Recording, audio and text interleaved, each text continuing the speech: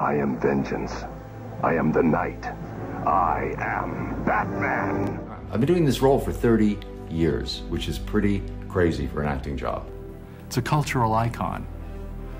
And to be a part of that, you know, it's it's an honor.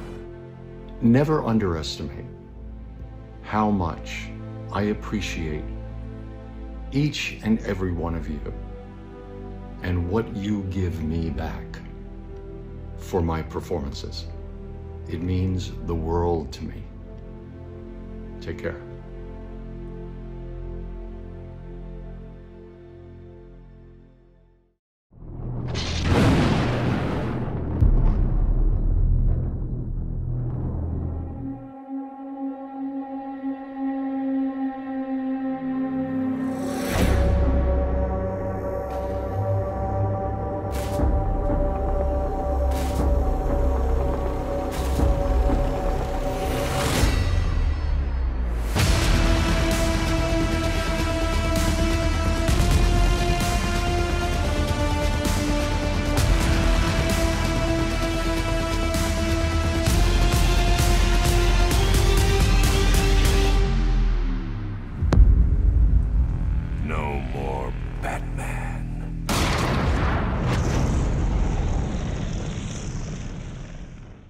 By the end of 2011, Rocksteady Studios was on fire, having released two extremely well received Batman games as part of their Arkham series. Their first game, Batman Arkham Asylum, was a smash hit, and not only was it an incredible Batman game, but it also proved that the superhero game genre could be taken seriously as award worthy games. With such a striking success, it's hard to imagine them topping themselves in a significant way, but that's exactly what they did in the sequel, Batman Arkham City.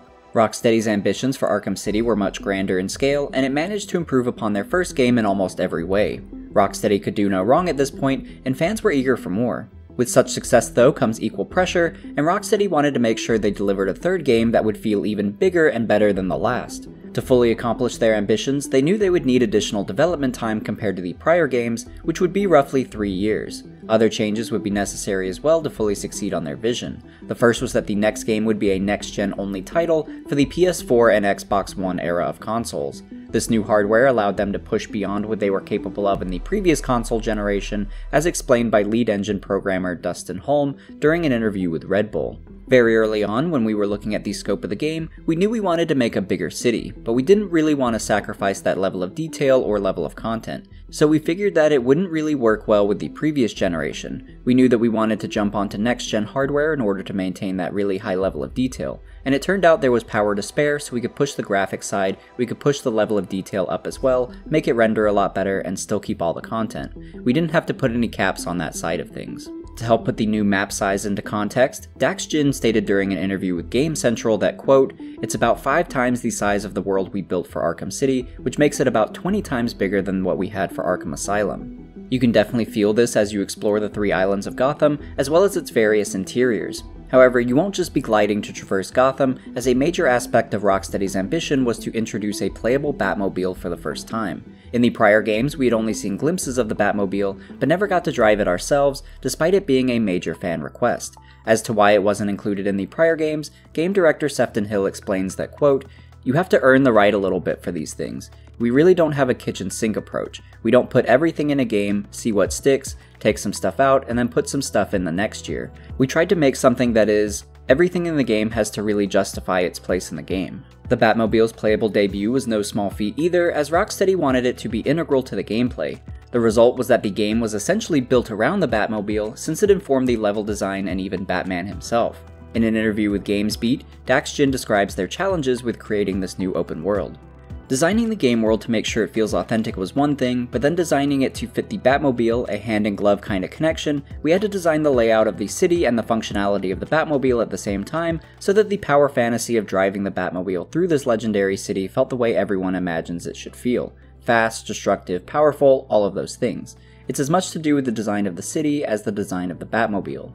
Rocksteady also wanted to highlight the man and machine kind of bond between Batman and the Batmobile, and based his suit on its design.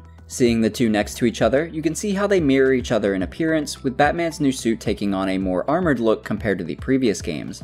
Another big change that would occur in the third game was that it would actually receive an M rating.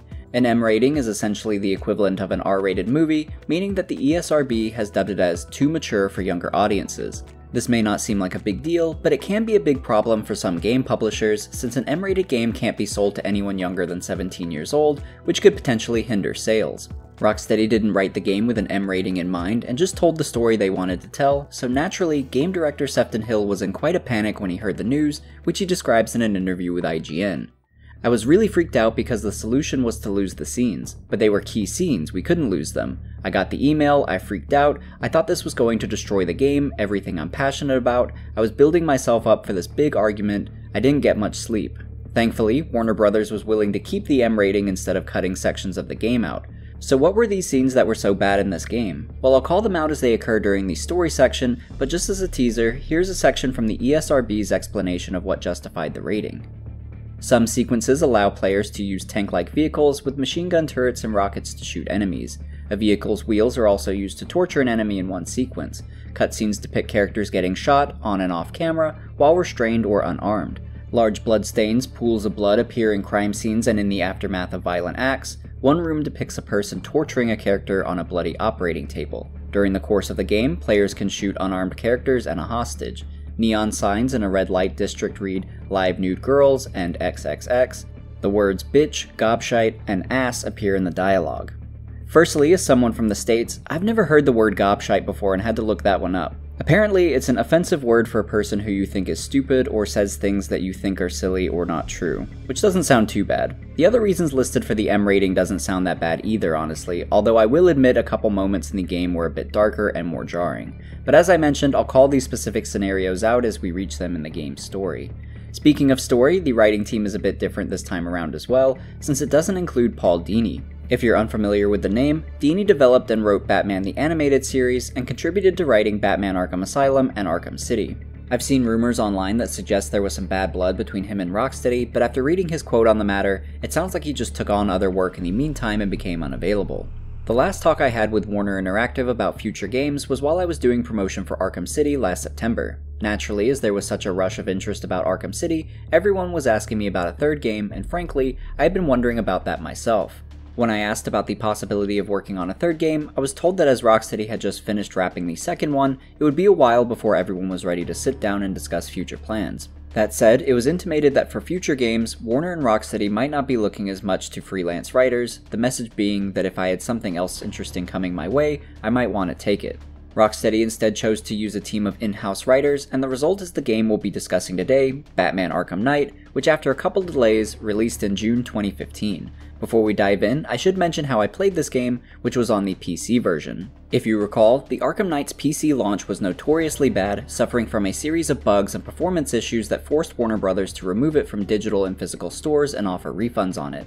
It was quite the controversy, with QA testers even giving anonymous quotes to Kotaku regarding their frustrations that these issues weren't fixed ahead of time. For example, here's a couple quotes. I will say that it's pretty rich for WB to act like they had no idea the game was in such a horrible state. It's been like this for months, and all the problems we see now were the exact same, unchanged, almost a year ago. We reported literally thousands of bugs that were specific to the PC version relating to the frame rate, all sorts of effed up texture issues, the Batmobile in particular has always effed up things on the PC. Despite the issues that the PC version launched with, patches have since been released to help remedy those issues, along with the ability to customize the graphical quality of the game to your setup. Technology has also improved quite a bit since 2015, making it easier to run the game with modern PC hardware compared to what was available back then. Due to this, I think the PC is now the best way to experience this game if you have a reliable gaming setup, even compared to playing Arkham Knight on modern consoles like the PS5. For example, the PC version allowed me to enhance the frame rate above 60 frames per second. There's a maximum of 90 frames per second in the settings, but you can remove this cap in the game files and essentially make it unlimited. When I tested this, there were moments where I was over 200 frames per second when playing at a 1080p resolution. For this video though, I ended up sticking with the 90 FPS setting within the game, only because higher frame rates along with the screen recording software was running my PC a little too hard. I did however boost the graphics to 2K to hopefully help showcase just how beautiful this game is and how it still outshines the graphics of a lot of games even today although I can almost guarantee that after rendering and uploading this all to YouTube, that the visuals won't match the quality you'd experience when playing it for yourself. It should still look visually impressive, but on your actual hardware, the game looks breathtaking. So basically, if you have a gaming PC and have been hesitant to try Batman Arkham Knight, try it. The graphics are absolutely gorgeous and are further enhanced if you can achieve higher frame rates to really get that smoothness in the gameplay. However, some issues still persist, and I will say that frame drops still occurred at times, especially during Batmobile sections, but it's worth it nonetheless. All that to say that I played the game at a 2K resolution at 90 frames per second, and that the vast majority of clips you'll be seeing in this video come from the PC version of the game.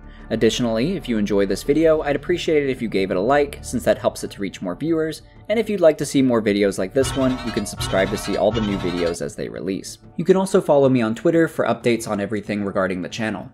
By the way, this video will be part 1 of 2 due to the vast amount of content within the game. So in this video, we'll focus primarily on the main story, as well as the easter eggs and behind the scenes details within it. In the next video, we'll talk about all the DLC, side missions, and challenges, along with other aspects of the game like the gameplay and audio design. So you can look forward to that releasing soon too. But without further ado, let's get into the story of Batman Arkham Knight.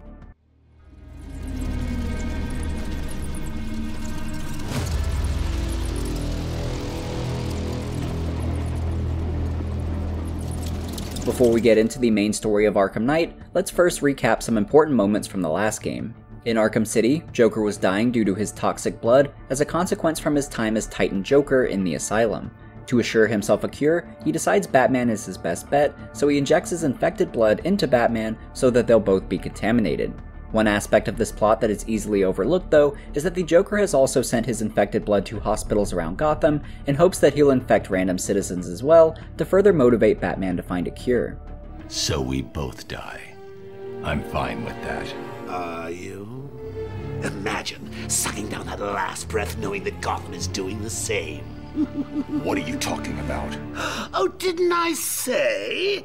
I've spent weeks shipping samples of my blood to emergency rooms all over the city. So even though it's not really addressed much in Arkham City, we'll see how this side plot of the Joker's has had major ramifications for the events of Batman Arkham Knight. As you likely remember though, Batman managed to find a cure to save himself from death, but Joker accidentally broke the vial and ended up dying from his own actions. Even one year after these events, which is when Arkham Knight takes place, the citizens of Gotham still don't know what happened between Batman and Joker in those final moments, which has led to many rumors regarding whether or not Batman actually killed him. Nonetheless, the Joker is legitimately dead, which means for the first time in the Arkham game series, we'll have a lead villain that won't be him.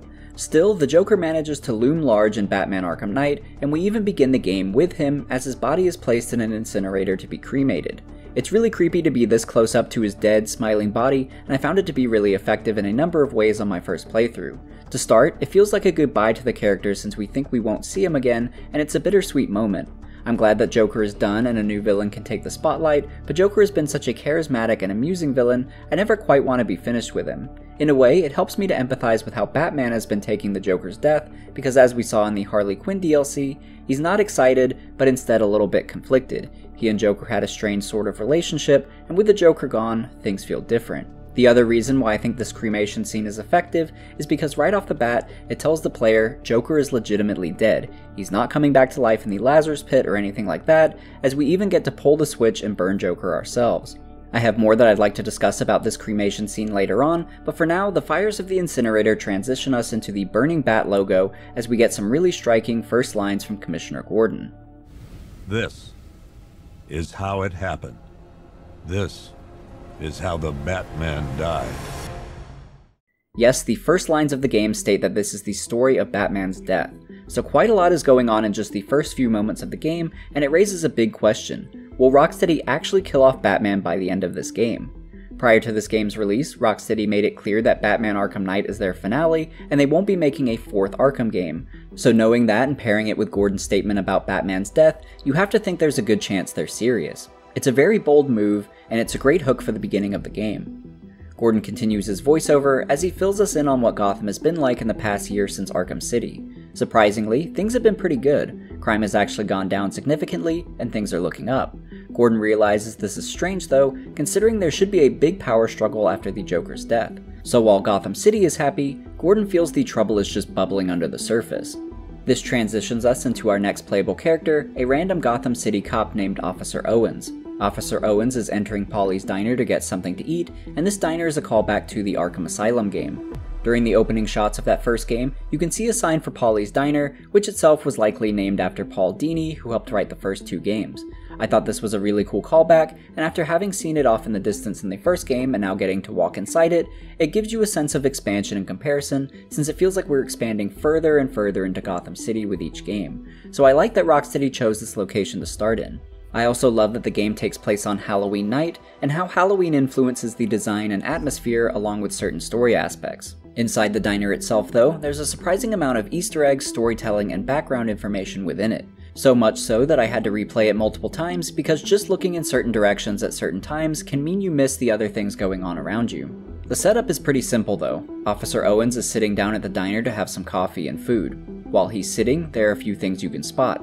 The first is a missing poster for someone named Henry Adams, an important character we'll be introduced to later on. If you look to your left, you can also watch an interaction where one of the waste disposal workers scares a man in a Batman mask, which I think is meant to tease the upcoming conflict between Scarecrow and Batman, especially since we'll see that Scarecrow has the upper hand for most of this game. Afterwards, a customer comes to tell us that there's somebody smoking in the corner booth, requesting us to have a word with him. From here, we're able to free roam the diner and examine it closer. On the TV are various news headlines one of which states that Arkham Asylum is set to be reopened after Arkham City's shutdown. On a newspaper in front of us, we can also see that Bruce Wayne is pledging $300 million into redeveloping Arkham City in order to clean it up and revamp it. There are a few missing persons headlines as well. One mentions the ongoing hunt for corporate killer Christina Bell. We can also listen to a couple having a conversation about her in one of the booths. Christina Bell is said to have murdered the board members at Queen Industries, where she worked. By the way, Queen Industries is owned by Oliver Queen, aka the Green Arrow, so a little Easter egg there. But anyway, the girl on the right worked with Christina and is telling the guy about her experiences with her. She describes how after Christina went for a hospital visit, she came back almost like an entirely different person. She also apparently had a deep fascination for Batman, but a strong hatred towards Robin, as you can hear in this clip. Also, keep an ear out for the music in the background, which we'll discuss soon as well. So I got mugged, right? In the Diamond District a few months back. And I told her. And as I was describing it, her eyes lit up. It was creepy. What'd she say? She just kept asking for more details. Did they have a knife? Did Batman show up? Did they have guns? Did Batman show up? Did they hurt me? Did Batman show up? Well? Well, what? Did Batman show up? No. But Robin did. Oh, okay. I, I guess that's cool. Uh, you're worse than her. The second I said Robin's name, she looked so disappointed. Then angry. Yeah, well, Batman's cooler. You know what she said? She said that she'd rather be gutted and left on the street than rescued by him. And then she looked at me like I was dirty. The song in the background is Only You by the Platters, which is the song that the Joker sings to Batman during the credits of Batman Arkham City.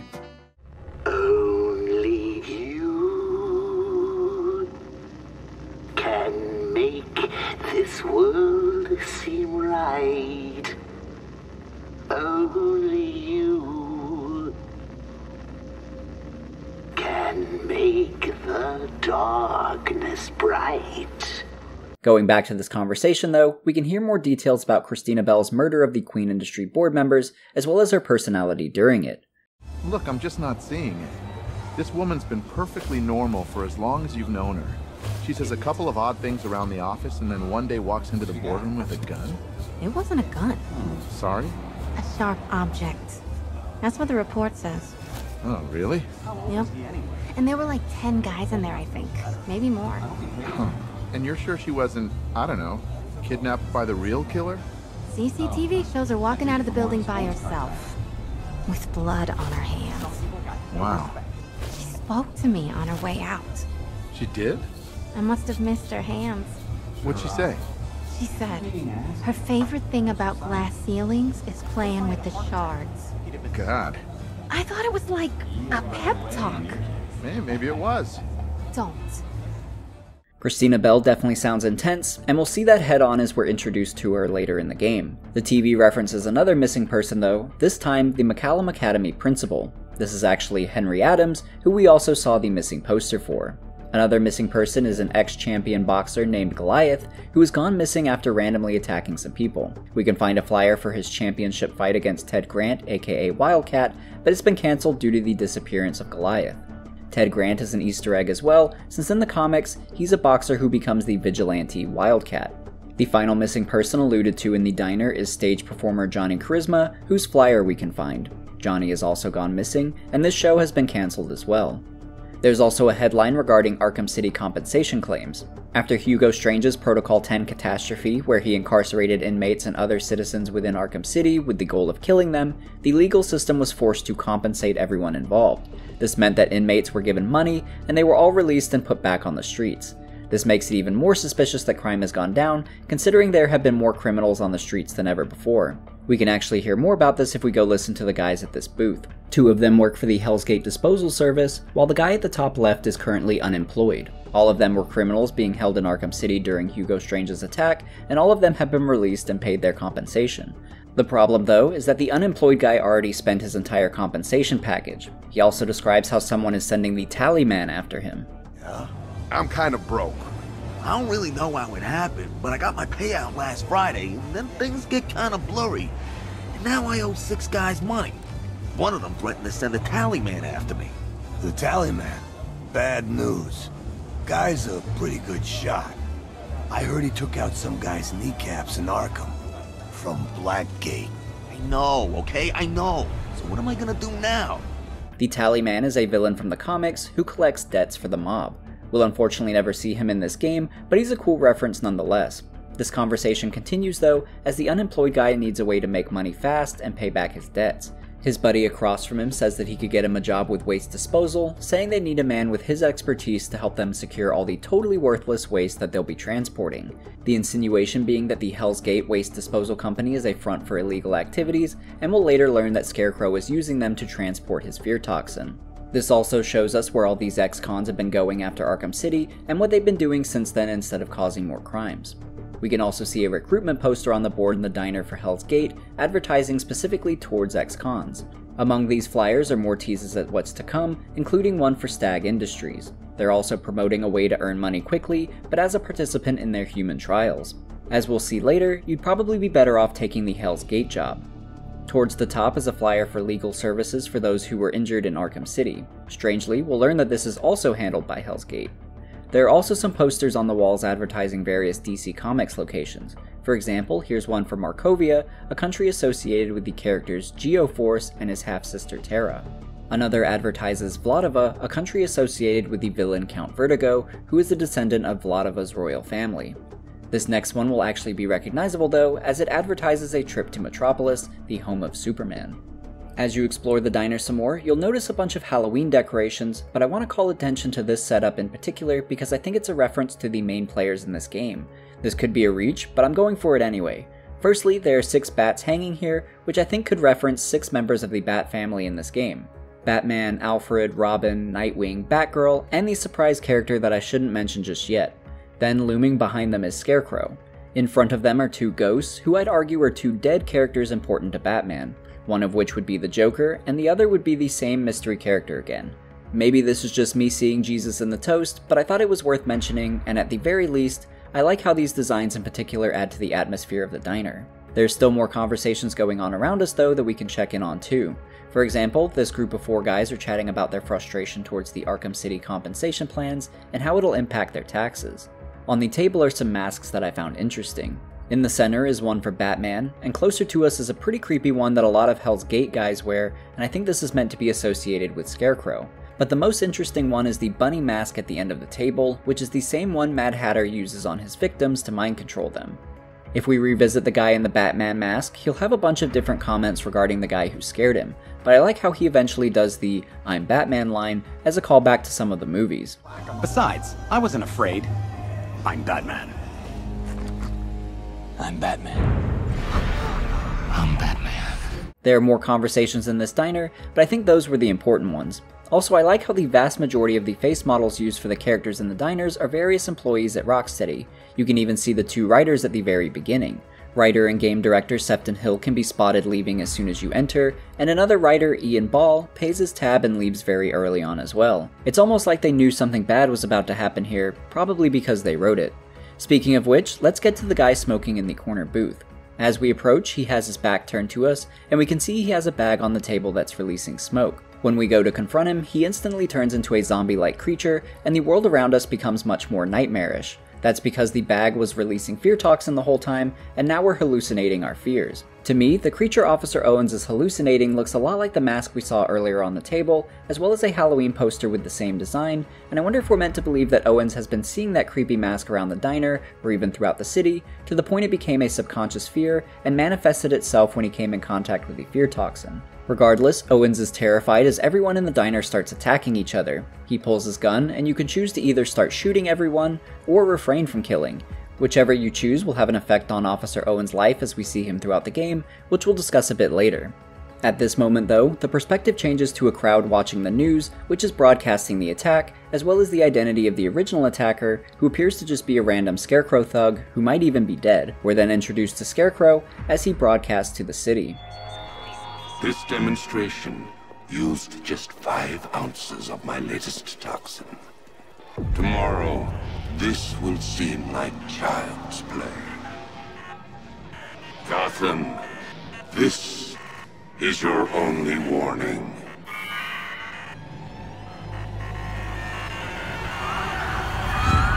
The last time we saw Scarecrow, he was getting mauled by Killer Croc in the sewers of Arkham Asylum. He was then noticeably absent from Arkham City, but we still found hints that he was planning to make a comeback.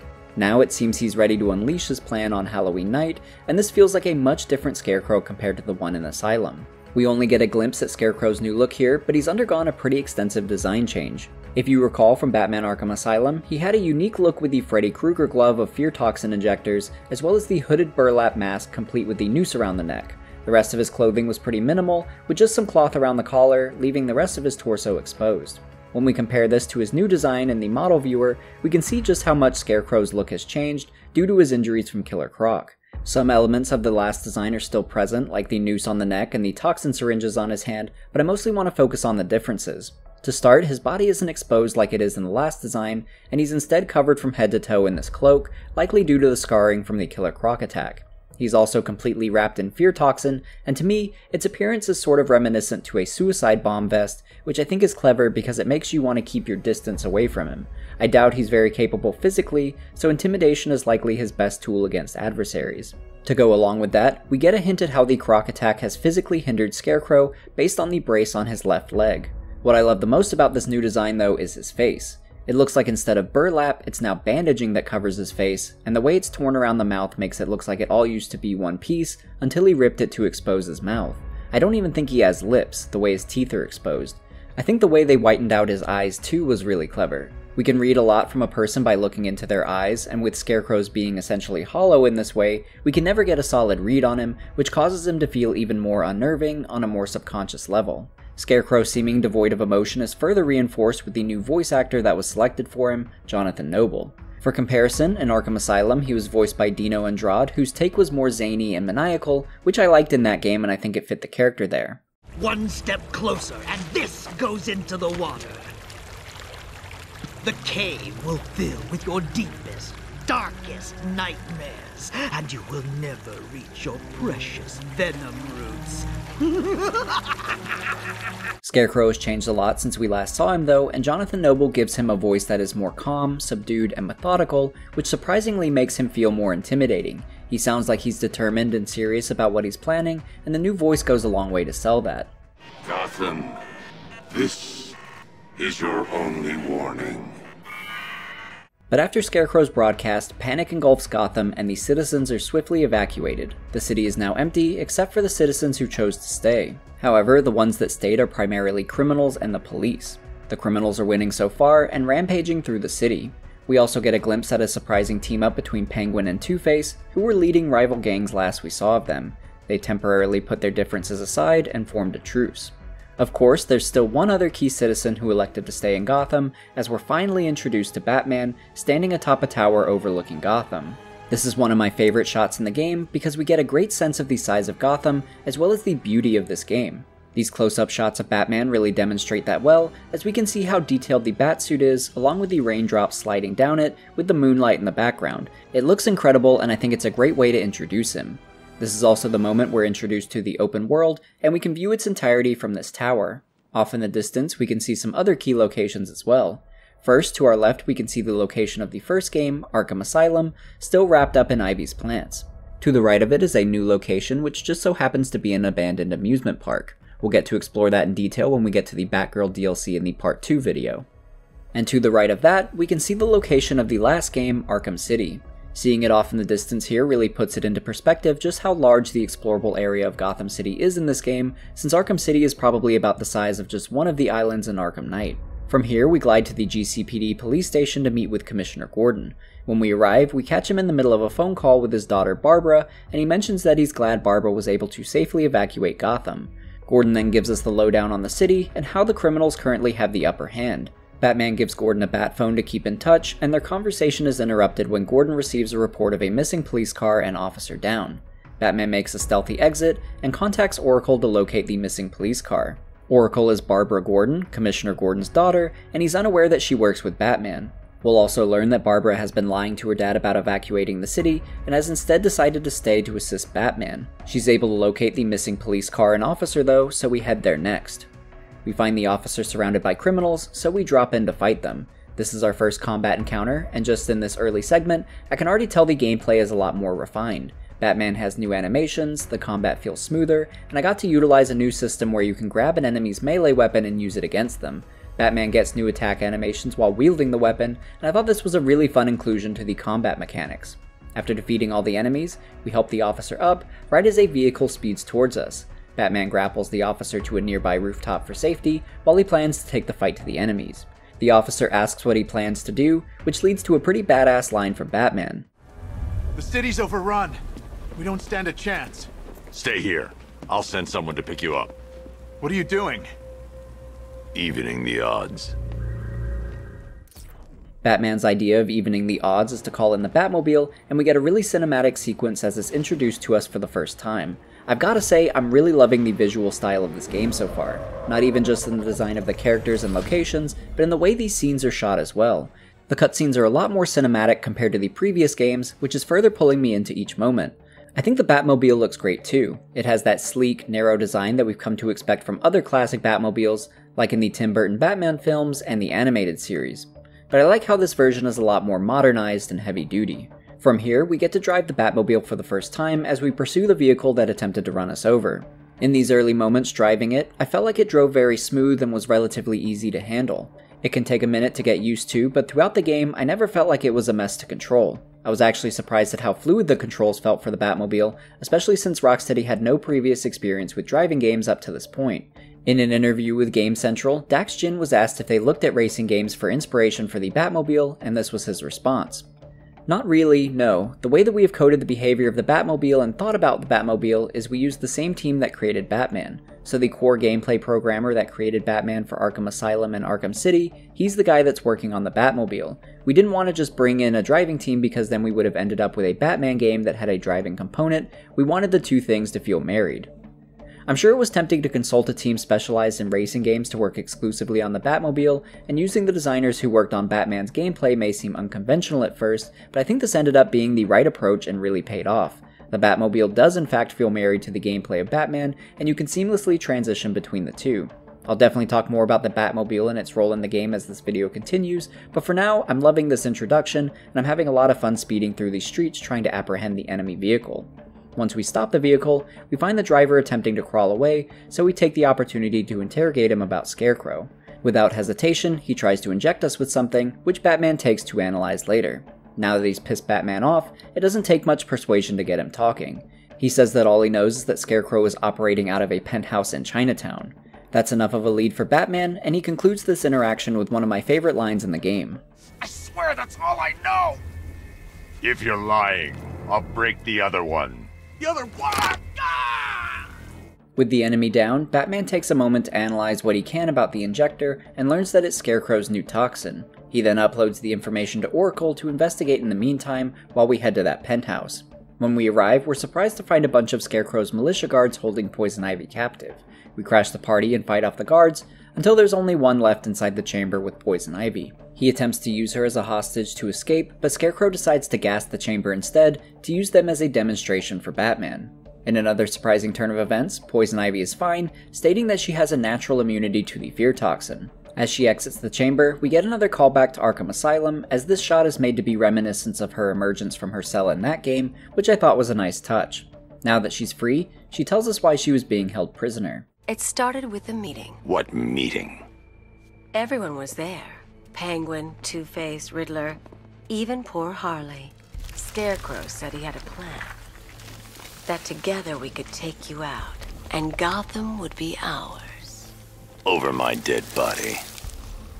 I believe that was the idea. I told him that I wasn't interested in his pathetic human games.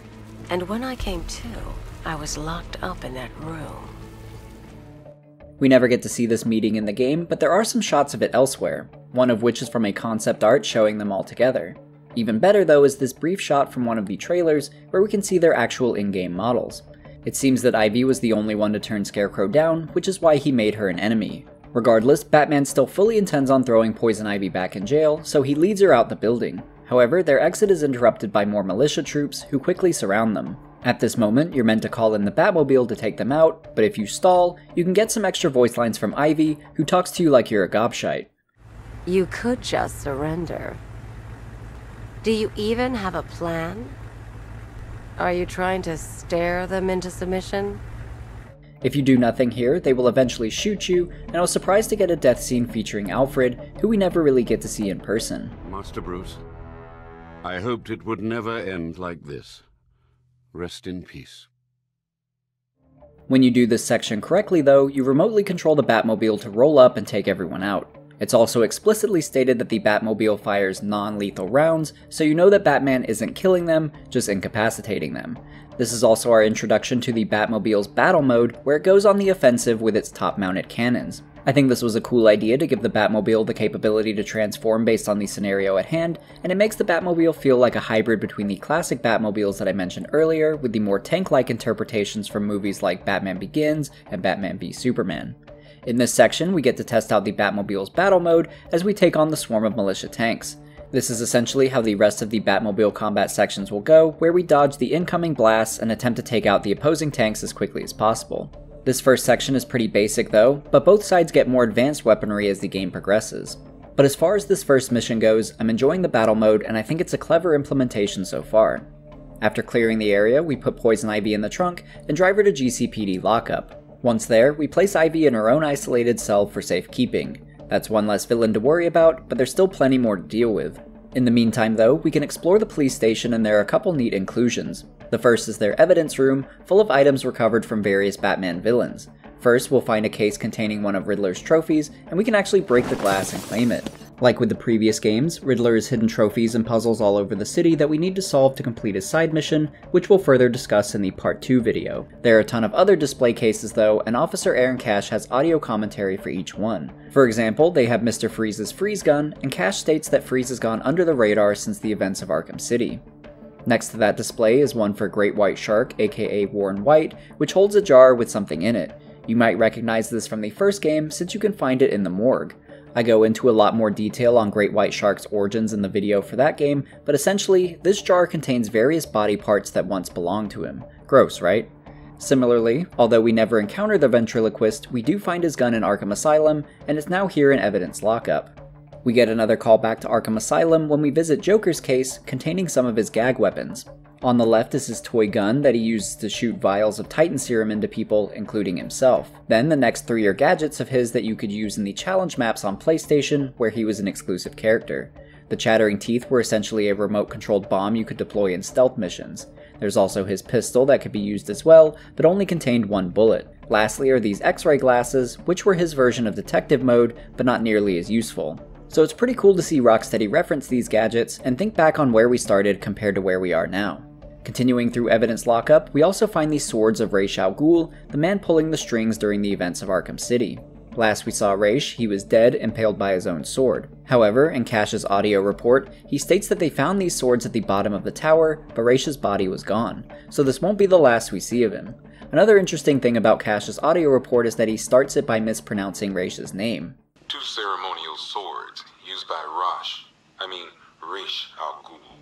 I think this is meant to be a fun reference to how his name is often pronounced differently by fans and media. For example, it was pronounced Roz instead of Raish in Batman Begins. Who are you? My name is merely Ducard, but I speak for Raz Al Ghul, and I'm greatly feared by the criminal underworld. We also get a couple references to the Arkham Origins game, developed by WB Montreal, confirming that Rocksteady does indeed consider it to be canon to their story. First is a case containing the shock gloves used by the Electrocutioner, one of the assassins sent after Batman. At a certain part in that story, Batman will actually use these for himself in combat, but the general consensus shared by myself and many other fans was that the shock gloves were a bit too overpowered, which is likely why they've been sitting here in evidence lockup ever since. There's also a case for Anarchy, who we apprehended during the events of Origins and never saw again.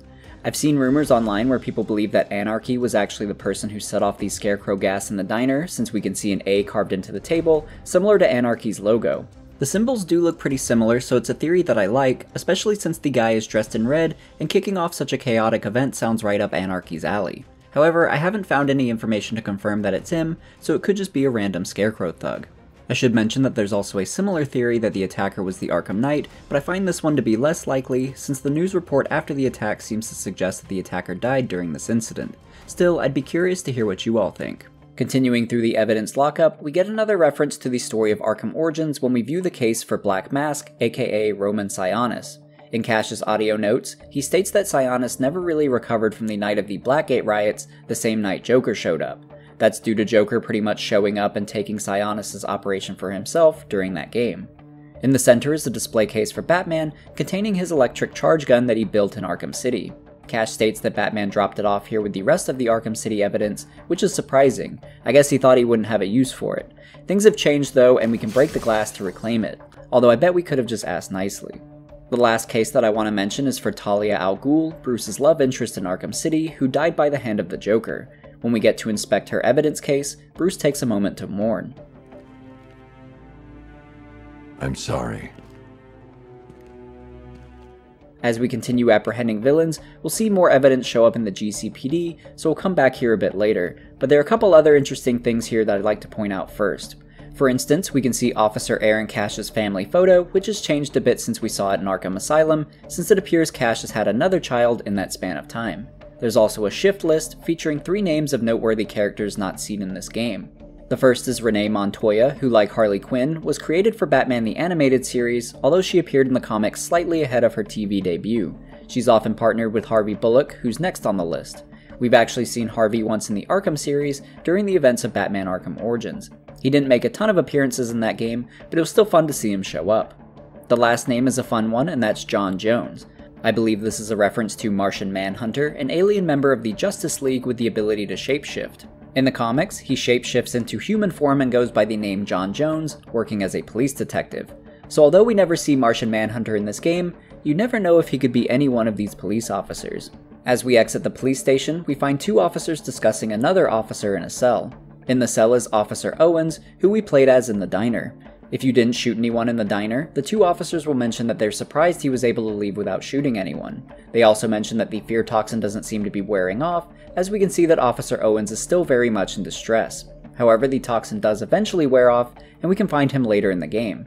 He mentions that he'll be going through psych eval for a while, and that he hopes he can get back on the streets soon and resume being a cop like normal. On the flip side, if you do shoot people in the diner, things are a bit different. The two officers state that he's going to lose his badge and that he won't be able to live with himself when he finds out what he did. When we see him later in the game, he mentions that he's got a court hearing coming up regarding the diner and that his career is probably over. Owens is quite the tragic character, as we further learn in one of the character files. It describes Owen's life leading up to the diner, and we find out that he was originally living in Keystone, a location often associated with the original Flash, Jay Garrick, and third Flash, Wally West. Owens hated Keystone, so he took a promotion and transferred to Gotham City, which put a strain on his marriage. His wife wanted them to move back, but Owens asked her to just stick it out for another year and see what happens. It seems his wife was right, especially in the continuity where he shoots people in the diner. So I have a feeling he's going to be moving back to Keystone after all this. Also in the GCPD is a familiar face, Jack Ryder, the news reporter we saved multiple times in Arkham City. Most notably when Deadshot attempted to assassinate him and we intervened. Jack has been busy since then, twisting those events to make himself out to be the hero. At one point, we can find a magazine with his face on the cover, along with the caption, How I Took Down Deadshot. We can actually read a section of it in the back computer, and it's pretty humorous. Are you ready, Jack? Batman asked, looking straight at me, one eye filled with admiration, the other with respect. I'm ready, Batman, I replied bravely. Then let's do this, Jack. Together, Batman said. Asked, really. The Dark Knight stood up from behind our cover then, as we prepared to take on the deadly assassin Deadshot together. Was I afraid? Dear reader, I was terrified, but I couldn't let it show. Batman needed me. Then I saw it, the laser sight playing like a lover's tongue across his nipple. Batman, no! I shouted dramatically. I dived forward then, knocking the Cape Crusader to the ground as the bullet whizzed past my ear. Batman was back on his feet in an instant, however. He grabbed me and pulled us both into cover behind a chimney chute in the bombed ruin of Arkham City. What now, Jack? Batman asked, his voice cracking slightly under the strain. I thought for a moment. You need to hide behind cover whenever he's looking in our direction, Batman, I explained patiently, and then try and reach the vent under the helipad. Batman looked at the distance between him and the sharpshooter marksman. You can do it, Batman, I said reassuringly. I know you can. Jack also managed to get himself into trouble with the citizens of Gotham, as we can read in one of his articles. Apparently, after Arkham City, he was the one who gave evidence of Arkham City's illegal actions, showing how prisoners were being treated, and stated that anyone who was exposed to that should be released and generously compensated. However, Jack was only trying to help himself and didn't care about the other prisoners.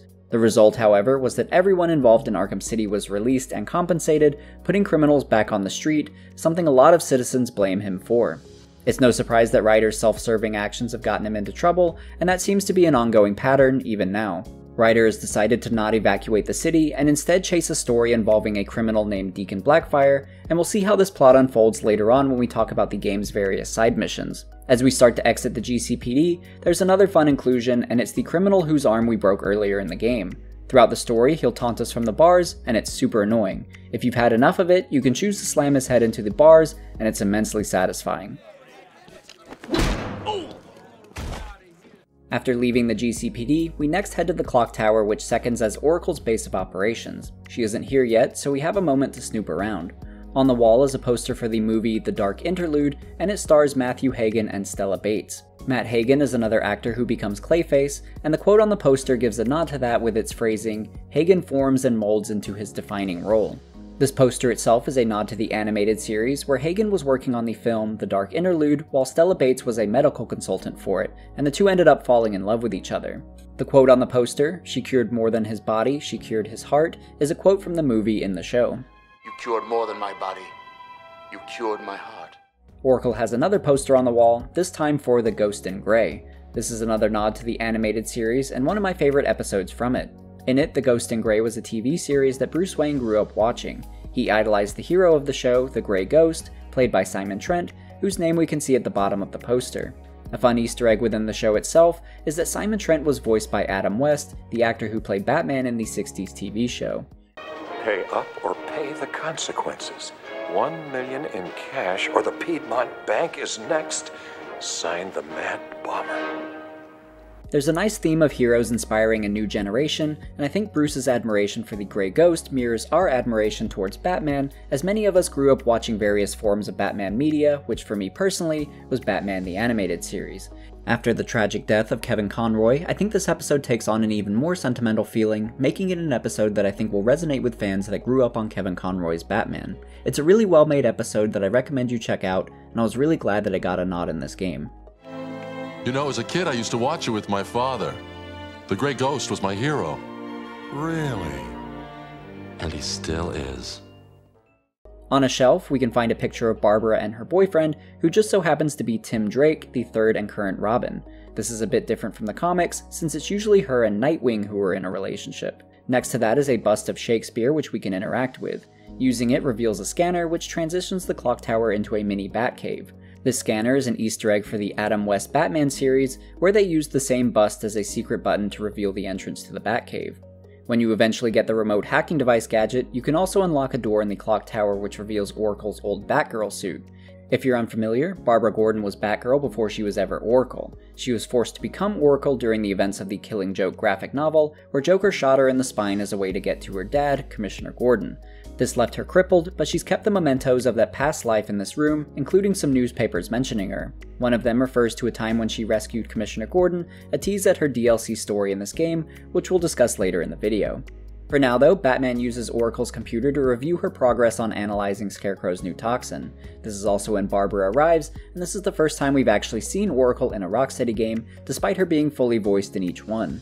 Working together, though, they realize that they can pinpoint Scarecrow's location by targeting the energy signature of the area where the fear toxin is being produced. Batman starts to leave before Oracle stops him. She expresses guilt in lying to her dad about her evacuation, but Batman brushes it off and stays mission focused, stating that they'll find Scarecrow.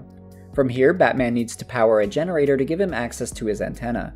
It's up on a rooftop, so Batman uses the Batmobile's power winch to climb up the wall. Every time I do this, it makes me think of the Batmobile driving up the wall in Batman Forever, where he uses a cable as well. After powering up the first generator, though, Batman calls Oracle to inform her that they have access to the antenna. During this conversation, Robin pops in and asks Batman to let him help out in the city. Batman refuses, telling him that what he's working on is more important, and we'll find out what that is shortly. For now, we next have to gain access to a microwave tower to help us triangulate Scarecrow's location. When we arrive, we find that there are enemies inside with a hostage. Batman will need to take them out quickly, but he feels that the current Batsuit is a bit too weighty to accomplish the task, so he decides now is a good time to have Lucius Fox deploy the new Batsuit. Up until now, we've been wearing a Batsuit that looks more in line with the previous game's outfits, which are inspired more by the comics. This new suit, as we discussed, is more modernized and made to mirror the appearance of the Batmobile. It has practical uses as well, though, since it's durable, but it's also more lightweight, allowing Batman to move faster. This immediately impacts your traversal as you're allowed to propel yourself higher into the sky and pick up more momentum. It makes grappling and gliding around the city much faster, and I like that you get this boost after putting on the new suit. We've been told the suit was better and more lightweight, but now we get to experience it, which is much more impactful for the player. You can further upgrade your grapnel boost as well, and it makes traversal more fun each time you do.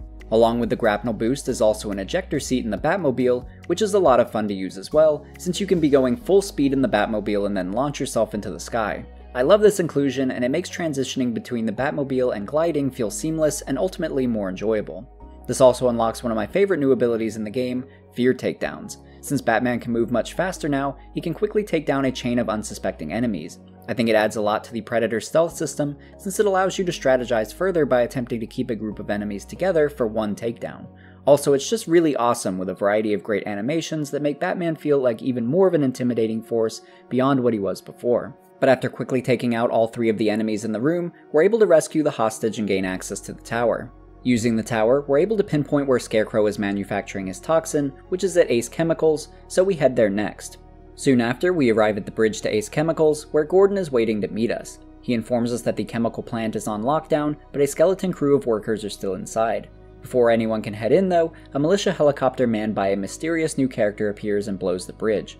Batman shows no fear and approaches the helicopter. We get a look inside the cockpit as we're given a minor introduction to the Arkham Knight, one of the main antagonists of the game. The Arkham Knight fully intends on launching a missile at Batman, but it's jammed by Scarecrow since he has bigger plans for Batman's demise.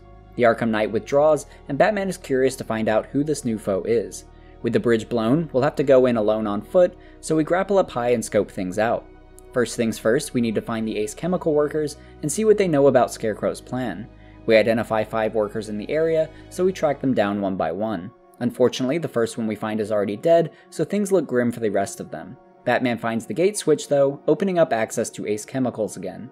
The bridge is still blown, restricting access to the police, but Batman is able to improvise and get the Batmobile inside. Using the Batmobile, we're able to gain access to the next hostage who's thankfully still alive. When we go to rescue him though, we're interrupted by the militia and this time given a proper introduction to the Arkham Knight. We also get a better look at his design, which appears more like a militarized version of Batman, which I think is pretty cool. He also takes a moment to give his men some tips on how to properly take us down, and he knows a surprising amount about Batman's suit, like which areas are the strongest and which are the weakest, specifically that the armor is strongest near the bat symbol.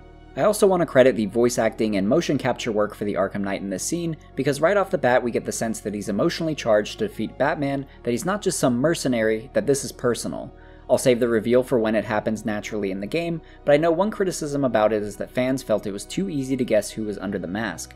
Regardless of whether you guess it early or not, I do like these little conversations between Bruce and the Arkham Knight, and the little clues they give towards his identity. The Arkham Knight was sloppy though, and forgot that the Batmobile was right behind them, and Batman is able to seize the opportunity and take the militia soldiers out, while the Arkham Knight escapes. After taking out all the guards, we release the captured Ace Chemicals worker. He informs us that things have been pretty bad here and that Scarecrow is building a fear gas bomb that could cover the entire East Coast. We'll need to act fast to stop him, so we make our way deeper into the chemical plant. After breaking in, we find another dead chemical worker, as well as an Easter egg back to Arkham Origins. On a table, we can find a vial labeled Copperhead Poison. This is a nod back to the villain Copperhead, who we fought back in Arkham Origins. Batman experienced the effects of her poison momentarily in that game, and it caused him to have hallucinations similar to the ones he's experienced after being exposed to Scarecrow's fear toxin. So, this poison being in the chemical plant could mean that Scarecrow was experimenting with it as a potential inclusion to his fear toxin. Continuing on though, we eventually find another chemical worker who isn't dead. We rescue him from the militia, and he tells us what he knows. It's not good news though, as he informs us that Scarecrow is in the central mixing chamber, prepping to release his bomb. We continue further into the plant and come across a group of militia guards strategizing about how to successfully carry out Scarecrow's plan. We'll drop in and interrupt it, and this is one of my favorite early fight scenes in the game for a couple reasons. The first is that we're given a larger number of enemies to fight at once, and I think large volumes of enemies showcase just how good the combat system is in this game. More enemies usually means the fight is more frantic, making it feel more fast paced as you attempt to juggle them all. I also like this fight in particular because it gives you a lot of options for environment takedowns, another new element to the combat. Around the map, there will be objects highlighted in blue, and if a nearby enemy is also highlighted in blue, it means you can instantly take them out with that object. In this case, you can cut a light fixture down and have it land on their head, you can smash their face into an electrical box, or you can grab a ventilation box from the wall and launch it at an enemy. I loved using these, and anytime I can interact with something in the room during combat, it always adds to the immersion and makes the environment feel more realistic. So this fight is easily one of my favorites from the early game. Once you're done defeating all these enemies, you can also find an easter egg in the next room. On one of the lockers, we can find the name Ray Palmer, with a large drawing of an atom, referencing the DC hero by the same name, the Atom. He's a character with shrinking powers similar to Marvel's Ant-Man, and he's been a member of the Justice League. Continuing on though, we next find Scarecrow in the control room of the central mixing chamber. His men are still loading more of his compound, so we sneak around the room and take them out. Afterward, we confront Scarecrow ourselves. He's even creepier and more ghoulish looking now that we see him in person, but he's in no shape to fight. He instantly gives himself up, but Batman has no time for mercy. How do I shut it down? Let me go, or she dies. What are you talking about? Barbara Gordon. Have you found him? Get out of there! Now! Relax. No one knows I'm here.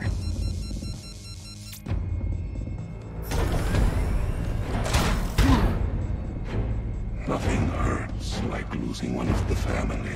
Knowing that there is no one to blame but yourself. Scarecrow's last line about losing someone you love is something Batman is too familiar with, most notably with his parents, Thomas and Martha Wayne, as well as second Robin, Jason Todd, who was murdered by the Joker. Batman doesn't intend on letting anyone else die, so instead of chasing down Scarecrow, he plans to stay in the room and reduce the blast radius of the bomb while Alfred works on tracking down Barbara. Alfred doesn't like this plan though, because it means that Bruce will be trapped in the blast and likely die. Bruce knows this too, and it becomes an incredibly tense moment in the game. Still, Bruce is determined to stay and reduce the blast, so our next task is to pull neutralizing agent containers out of their chamber and place them in the proper area. The issue is that the neutralizing agent is incredibly unstable, so you have to perform these actions very slowly. I thought this was a brilliant way to up the tension of this moment because you're forced to move in a very calm and slow manner while bombs explode around you and sirens are going off. The atmosphere around you is telling you to rush, while the game forces you to move slow. As you progress, the music becomes sadder as Alfred begs you to stop what you're doing and escape the building. They both know this is goodbye, and the sadness mixed with the tension always manages to hit me emotionally, where I become immersed in the moment and feel for the characters. After pulling out the fourth canister of neutralizing agent though, the moment makes a sharp transition. Miss me? Before we get to digest what exactly just happened, we're transitioned into a flashback. We're now playing as Commissioner Gordon for technically the second time in this game. Earlier, Gordon mentioned that he was the one who pushed the button to cremate Joker, which we also did, so I think we were secretly playing as him in that moment. But now, though, we actually get to walk around as Gordon as he arrives at the Panessa movie studios. It's stated in the game that the Panessas were a crime family that used the movie studios as a front to launder money, while also making the occasional low budget film. Unlike the Maroni and Falcone crime families, the Panessas didn't last in Gotham once Batman arrived, and the studio went under. Bruce Wayne has since bought the property as part of his Wayne Regeneration project to revamp Gotham, and it's stated that he plans to turn it into an amusement park. In the meantime, though, he has other uses for it as Batman, which is why he summoned Gordon. Before entering, we can walk around a bit, and it's cool to see Gotham in the daytime, something I don't think we've seen in any of the other games. You can also see some cars driving around that you don't see in the rest of the game, since this is prior to the evacuation. This is also when I realized Gotham is home to some pretty terrible drivers, and they don't seem to be able to handle this intersection well. Once inside the studio, we immediately enter an elevator. On the walls are some more posters, one of which is the Flying Graysons at Haly's Circus. Prior to becoming Robin and then Nightwing, Dick Grayson and his parents were the Flying Graysons and performed in the circus. Sadly, both his parents were killed during one of their shows as an extortion act against the circus. This left Dick an orphan, and he was later adopted by Bruce Wayne. Interestingly, we get another nod to the Flying Graysons on Barbara Gordon's character model. She has a necklace with the initials FG and a circus backdrop. This could just be a simple gift from Nightwing, or it could be a nod towards their relationship in the comics, since it's usually Barbara and Dick who are dating, not Barbara and Tim. As we go further into the studio, we can see more posters, this one advertising The Terror, starring Basil Karlo. If this looks familiar, it's because Basil Karlo is the Clayface we fought in Arkham City, and The Terror was the movie that was advertised and playing at the Monarch Theater during that fight. There's also the poster for Other Fish to Fry, starring Basil Karlo and Paul Sloan. Like Karlo, Paul Sloan was an actor turned murderer. In the comics, Paul Sloan was a method actor who liked to dive deep into his roles. This got him into trouble, though, when he was asked to portray the villain Two Face by other members of Batman's Rogues Gallery. For some background, a bunch of Batman's villains decided they should team up to take down the Bat for good, and the plan hinged on the cooperation of Two Face, since he and Batman used to be allies. Two Face flipped his coin to decide if he should help, and the result is that he wouldn't help the other villains. With no other options, the villains invited Paul Sloan to act as Two Face. Sloan took the role too far, though, tailing Two Face to study him, and eventually becoming so fixated on the role that he decided he should pull off a heist as Two Face. Two Face doesn't like being impersonated, so he tracked down Sloan and scarred his face. Sloan was believed to be dead after this, but later returned to kill all the villains who set him down this path, but he only successfully killed someone pretending to be Killer Moth, so some nice irony there. In the next room, though, Gordon is shocked to discover five holding cells with four people in them. These prisoners are the missing people that were hinted at in the diner, the first of which is Johnny Charisma, the missing performer, and we can see he's looking very Jokerized. That will be a common theme as we next look at the Goliath, a heavyweight boxer who's been assaulting random people. Next is Christina Bell, the woman who murdered the board members of Queen Industries. Lastly is school principal Henry Adams, who surprisingly doesn't seem to be suffering the same violent tendencies as the others and seems normal. Batman then shows up and explains what's going on. It all goes back to Arkham City, where Joker sent his infected blood to hospitals in Gotham. Gordon and Batman thought they recovered it all, but due to some hospital errors, these four people still managed to get infected. Over time, the Joker's blood has started to infect them and turn them into him. To try and ground this in reality more, Batman states that this disease is a form of Creutzfeldt-Jakob disease, which is a real thing, although it feels like a pretty loose tie to this Joker disease. From what I could find about Creutzfeldt-Jakob disease, it's a rare degenerative brain disorder that rapidly leads to dementia. A couple of the symptoms are memory loss and personality changes, which I assume is what Rocksteady was focusing on here, but to a grander scale. I think the idea is that as the brain deteriorates and you start to lose more of your memory and your core personality, the Joker infection starts to fill in those gaps and take control, turning you more into him, but that's just my speculation. However, we'll also later see that a lot of the Joker infection has to do with your will to resist it or succumb to it. There's also the case of Henry Adams, who is showing no symptoms. Due to this, Batman believes that Henry is the answer to the cure, so he's tasked Robin with running tests to try to find the solution, but so far they've come up short. Gordon also notices that there are five cells but only four prisoners, to which Batman states the fifth will be here soon, with a good shot of Batman's reflection in the empty cell. This suggests that Batman is the final prisoner and that the cure he took in Arkham City didn't actually fully cure him like we thought. This transitions us back to present day as Joker is the one who wakes us. Now that we know that Batman is the fifth victim of Joker's blood, we know that Joker is just a figment of his mind as the Joker's infection attempts to take over. As far as how I feel about this reveal, I'm glad to see Joker return, especially since he's still voiced by Mark Hamill, and it's fun to have Joker haunting Batman from the grave. That said, I'm glad Joker is still legitimately dead though, since I don't want him to overshadow Scarecrow, who needs to remain the main antagonist, or else we'll have another Arkham Origins scenario. So overall, I'm enjoying this twist and the flavor it adds to the story and gameplay. Looking back at the opening scene of Joker's cremation, knowing now that Joker would make a return, the music choice in that section makes a lot more sense. During the cremation montage, the song I've Got You Under My Skin by Frank Sinatra plays throughout it. I think Sinatra intended for the lyrics to reference a forbidden romance, but the words also apply to Bruce's new case of Jokeritis, even if we just look at the first few lines. I've got you under my skin, I've got you deep in the heart of me, so deep in my heart that you're really a part of me, I've got you under my skin. With Joker now deep in Bruce's subconscious, I think this was a really clever song choice. Rocksteady have even more fun with this moment if you start up New Game Plus. When you choose to burn Joker, this time he'll pop out at you.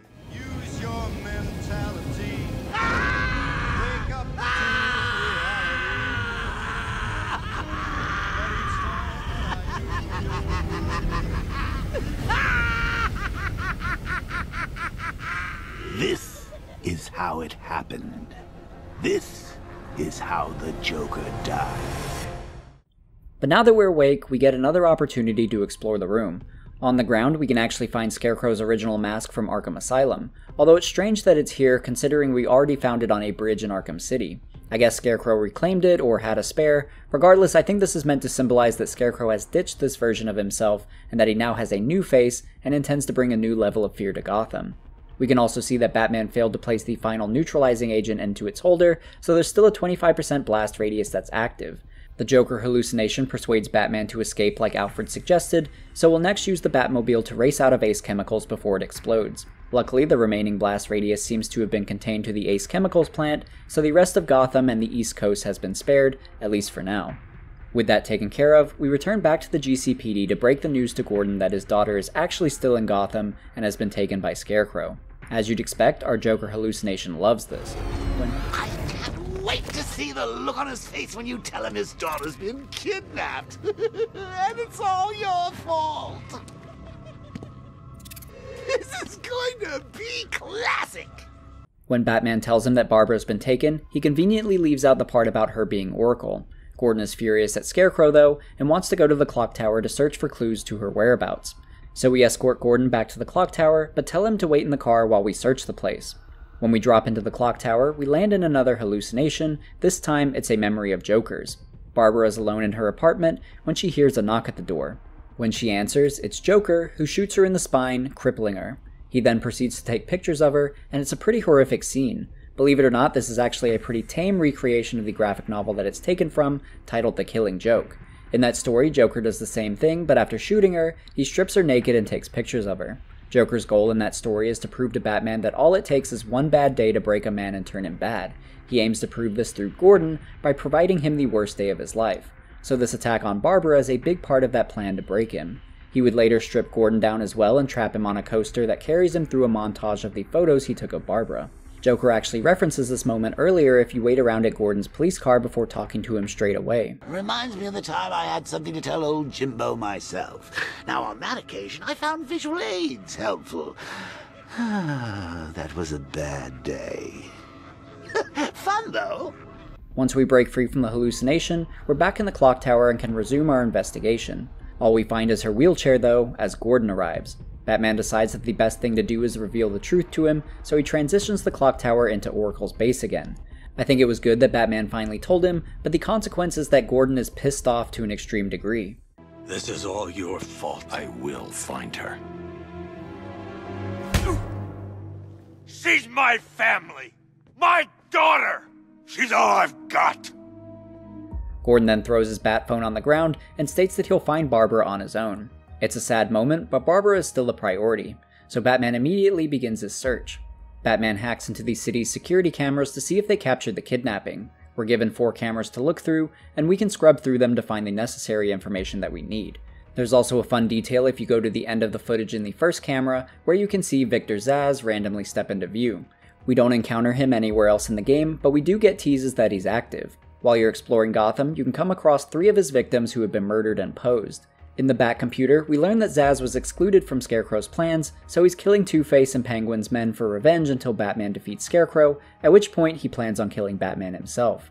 As we analyze the footage on the second camera, we see that Arkham Knight was the one who took Barbara and drove off with her. Batman is able to analyze the vehicle type and determine its tire tread, which gives him the ability to follow the trail. At the end of the trail, we find the Knight's vehicle crashed with nobody around, so Batman sets up a crime scene.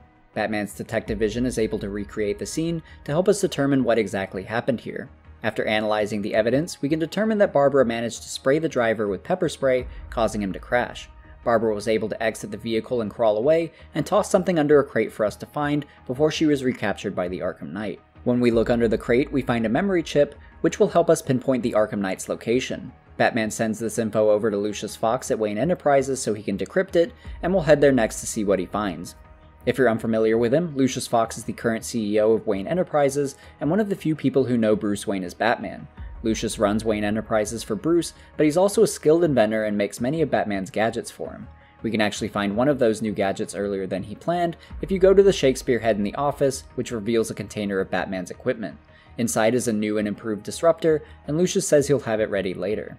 There are some other cool details that you can find in the office as well, like the portrait of Bruce and his parents. This actually used to be Thomas Wayne's office back when he was alive and running Wayne Industries, so I imagine this was a portrait he had hanging up back then that Bruce chose to leave up. Probably the most fun Easter eggs that you can find here in Bruce's answering machine. The first voicemail is from Vicki Vale, the reporter we saved during Arkham City, and it seems they have a relationship now, although I doubt it's a serious one. Bruce? It's Vicki. Are you there? I know you're listening to these messages. Look, if it's about that article, blame Ryder. I had nothing to do with it, I swear. Call me, okay? I miss you, Brucey. Brucey? The next message is from Cassie. Bruce, it's Cassie. You do remember me, right? um, listen, I had like so much fun the other night. You are nothing like what I read in the papers. Anyway, call me when you get this. I got a couple of cute friends who are dying to meet you. This is likely Cassandra Cain, daughter of assassins David Cain and Lady Shiva, who I talk about more in my Arkham Origins video. Cassandra would eventually take up the mantle of Batgirl in the comics as well. In the next voicemail, we actually hear from Lex Luthor, who's attempting to buy Wayne's Applied Sciences division. Mr. Wayne, Lex Luthor calling. Apologies for going via your direct line, but I grow tired of these games. LexCorp has made a very generous offer for Wayne Tech's Applied Sciences division, yet your persistent unavailability begins to look less like a busy schedule and more like deliberately antagonistic behavior. Come now, meet with me. I'm sure we can come to an agreement. A man of your refined taste doesn't need an Applied Sciences division after all. He needs another billion dollars. Lex Luthor is the owner of LexCorp in Metropolis and a common antagonist to Superman. Bruce's final voicemail is from Kate Kane. Bruce, it's Kate. You're coming to Maggie and I's engagement thing next week, aren't you?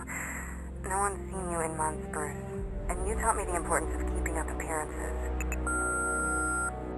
Kate Kane is Batwoman, and the Maggie she's referring to is Maggie Sawyer, who she has a relationship with. So some pretty cool Easter eggs in these voicemails, but oh, wait, there's actually more. Uh, Bruce, this is your father calling. It's time we had a talk, son. You know, about the dressing up.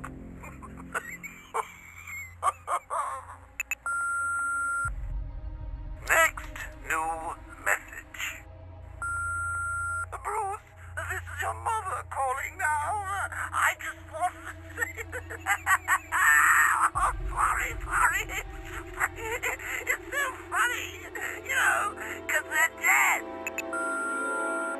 Also in the room is a food bowl with the name Ace. This is a reference to Ace the Bat Hound. After exploring the office, though, we use the chip Oracle gave us to scan for the Arkham Knight's voice print. The scan is successful and pinpoints his location in the tunnels, so we head there next. As we enter the tunnel network, we can find a toy called the Ghost Train. This is a ride in Gotham that occasionally shows up in the comics, and it's also the ride that Joker puts Gordon on in The Killing Joke. It's also a callback to Arkham City, where the Ghost Train shows up as well. While in the tunnels, we also get a call from Robin stating that he hasn't heard from Barbara in a while and he's wondering if she's okay. Batman actually chooses to lie to him here and tells him that she's just working on something for him and that Robin should stay focused on the cure. It's pretty cold that Batman didn't tell Robin the truth, but he's really paranoid about what could happen if they don't find a cure for Joker's infection, so he needs Tim focused. I think Bruce also lied to Tim because of what just happened after he told the truth to Gordon. At this moment, he thinks he lost a friend and an ally at a crucial moment, and I think he's scared that the same could happen with Robin. Regardless, Batman needs to focus on finding the Arkham Knight, which might be easier than expected since he gets the drop on us as we infiltrate the tunnels. He takes a moment to show off his in depth knowledge about our suit once again by shooting a bullet where there's minimal armor. He then walks off and leaves his men to deal with us. This leads to a pretty cool combat section where we're introduced to brutes, giant armored militia henchmen who are tougher to take down. Along with them, ninjas are thrown into the fray, as well as plenty of standard enemies. I thought this was another fun combat encounter with some good enemy variety and environmental takedowns, and so far, I'm enjoying the challenge progression of the combat as the story goes on. After taking them all out, though, we continue our hunt for the Arkham Knight and Barbara. Batman is able to track his voice print again and locate the vehicle he's driving in, so we pursue him through the streets of Gotham and launch missiles at him to subdue him. Eventually, we're able to disable the vehicle, so we get out to confront the Knight. Annoyingly, it's not him, just some random militia thug wearing a voice changer. The Arkham Knight must have caught on to our plan and tricked us into chasing the wrong man. With no other options, we're forced to interrogate the driver on the Knight's location. Batman's method for doing so is to back the Batmobile's tire onto his head and apply pressure until he talks. By the way, this is cited by the ESRB as a moment that played a factor in their M rating. It's not that bad though, because you can't actually crush the guy's head. Believe me, I tried, and you'll just endlessly rev the Batmobile until you finally release the pressure. This tactic is successful though, and the driver ends up talking. He tells us that the Arkham Knight has gone to meet the Penguin, who supplied some safe houses for the militia. He also tells us that we can find Penguin through his front company called North Refrigeration, which he uses to distribute weapons through the city. The name North Refrigeration is likely a reference to the voice actor Nolan North, who voices the Penguin. When we talk to Alfred about North Refrigeration, he gets us in touch with Nightwing, who's coincidentally been tracking them too, and has already scoped out their location. For some background, Dick Grayson eventually left Gotham to become his own man in Blüdhaven as Nightwing. Blüdhaven is arguably more crime ridden than Gotham, so he has his hands full. North Refrigeration has been headquartered in Blüdhaven, so Nightwing has been tracking them for a while. Recently, he's found out that they've expanded their operation into Gotham, so Nightwing has since returned to Gotham and wants to help us shut down Penguin for good. It's exciting to finally see Nightwing appear in the story of an Arkham game, and this is the first time he's been voiced in the series. Batman isn't as excited to see him though, and tells him to go back to Blüdhaven while he handles this. Nightwing reluctantly agrees, but not before handing off that new disruptor that Lucius made for us, which now has the ability to track vehicles. I actually really love the disruptor, and it always makes me think of the gun that Bruce uses in the Dark Knight movie to fire remote explosives. In fact, I wouldn't be surprised if it was based off of that. Our goal here, though, is to use the disruptor to place a tracker on the vehicle and then scare the henchmen into driving off in hopes that they'll lead us to one of Penguin's stash houses. What did you forget? No, no, no! It's Batman! Get the hell out of here! Subtlety works. With the tracker placed, we'll tail them from a distance, high on the rooftops. I absolutely love this mission because it felt so cool and Batman-like to stalk enemies this way. As planned, they head back to their hideout, giving us the opportunity to crash the party. Sure enough, once we're inside, we can see the Penguin is here too.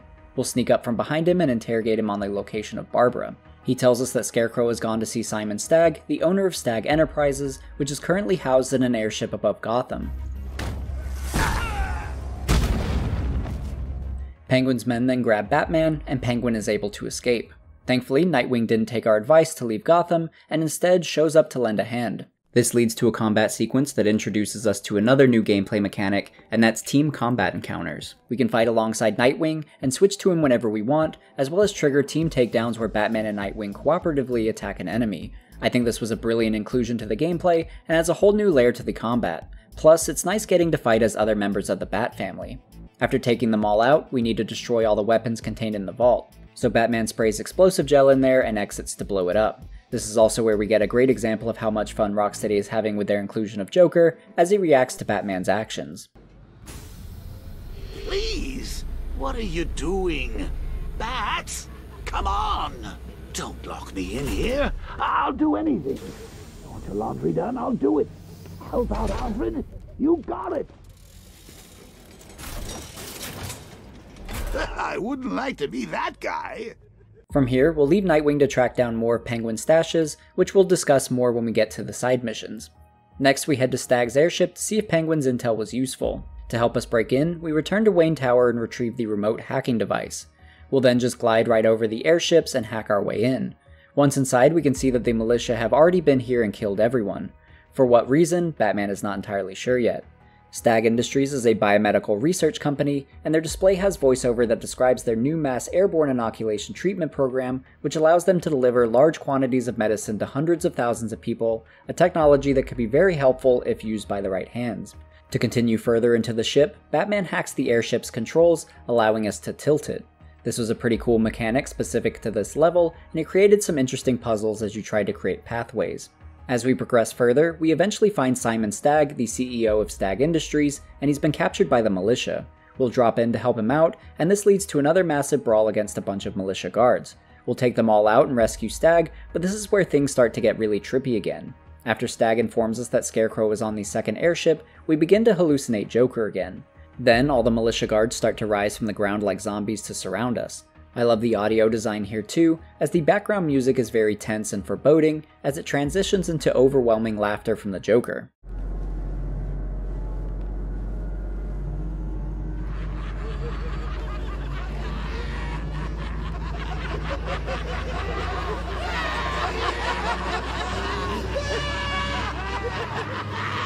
I thought this was a very effective and creepy moment, and it leads to us beating up all the Jokers in the room. Eventually, they'll get the upper hand, and you'll start to choke each other out.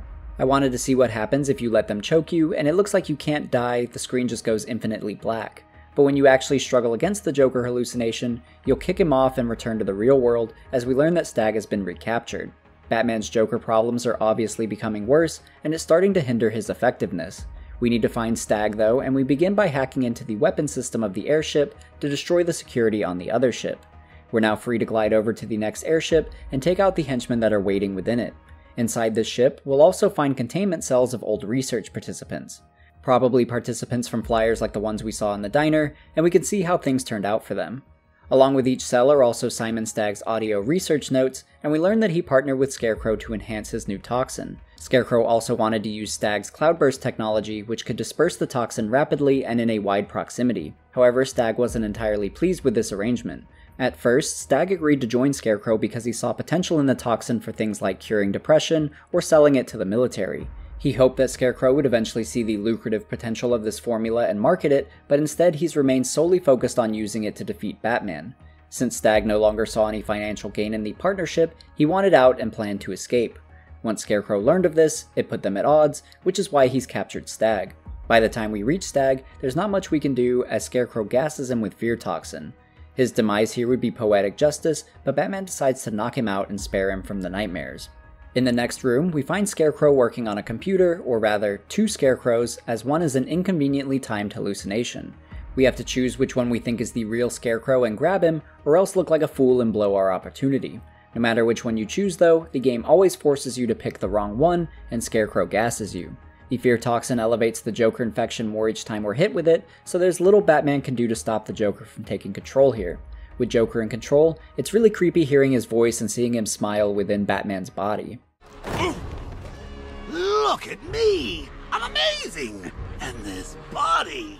I can't believe how strong it is! While fighting as Joker, your hits feel more aggressive and you get the sense the Joker is really enjoying beating up all these henchmen. Scarecrow notices this too as we attack him next, leading to a really interesting scene where we see how Joker is attempting to influence Batman. Come on, finish him. Finish him. Look at him. He's no better than the creep who killed your parents. You need to do something. You need to stop him. Good.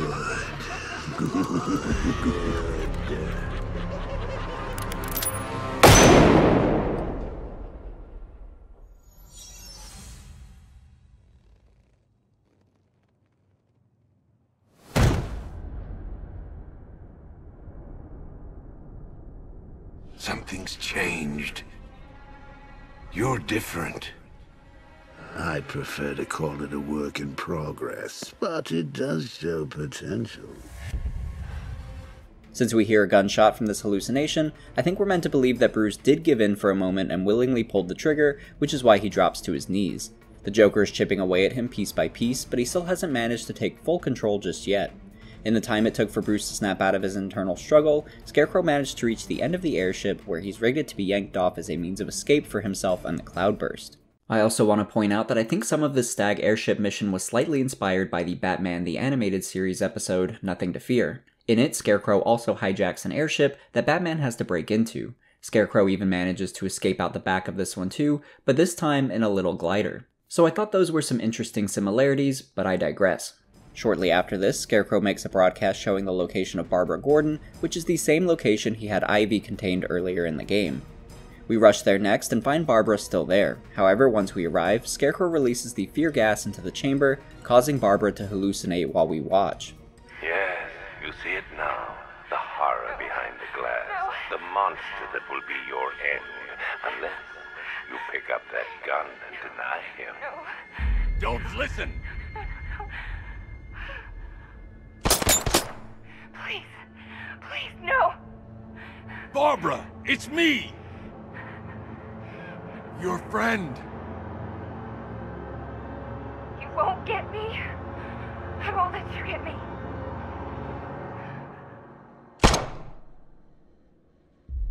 You will bring death to all who follow you. I imagine this was another scene that led to that M rating, and it's pretty effective. We'll come back to this scene later too, because there's more that I want to discuss with it. But immediately after Barbara's death, Batman breaks the news to Alfred that she's dead, and it seems that this has gone a long way towards breaking Batman mentally, the way Scarecrow planned. As emotional as Bruce is right now, Alfred is able to talk him back up, stating that he's learned that the Cloudburst is a dispersal device, and if it becomes operational, Scarecrow will cover the entire city in fear gas. This gives him the idea that he should return back to Poison Ivy, since she was immune to Scarecrow's toxin. So we head back to the GCPD to talk with Ivy. She's resistant to helping us at first, but when she learns that all her plants will die if she doesn't, she agrees to help. In order to counteract Scarecrow's toxin, though, she needs to awaken some ancient roots beneath Gotham, so we load her into the Batmobile and get to work. We'll start by taking Ivy to the Botanical Gardens, where she uses one of her plants as a command center, while we locate the roots of another. Once we find its location, we use the Batmobile to trigger a sonar blast, which awakens the ancient root and allows Ivy to control it.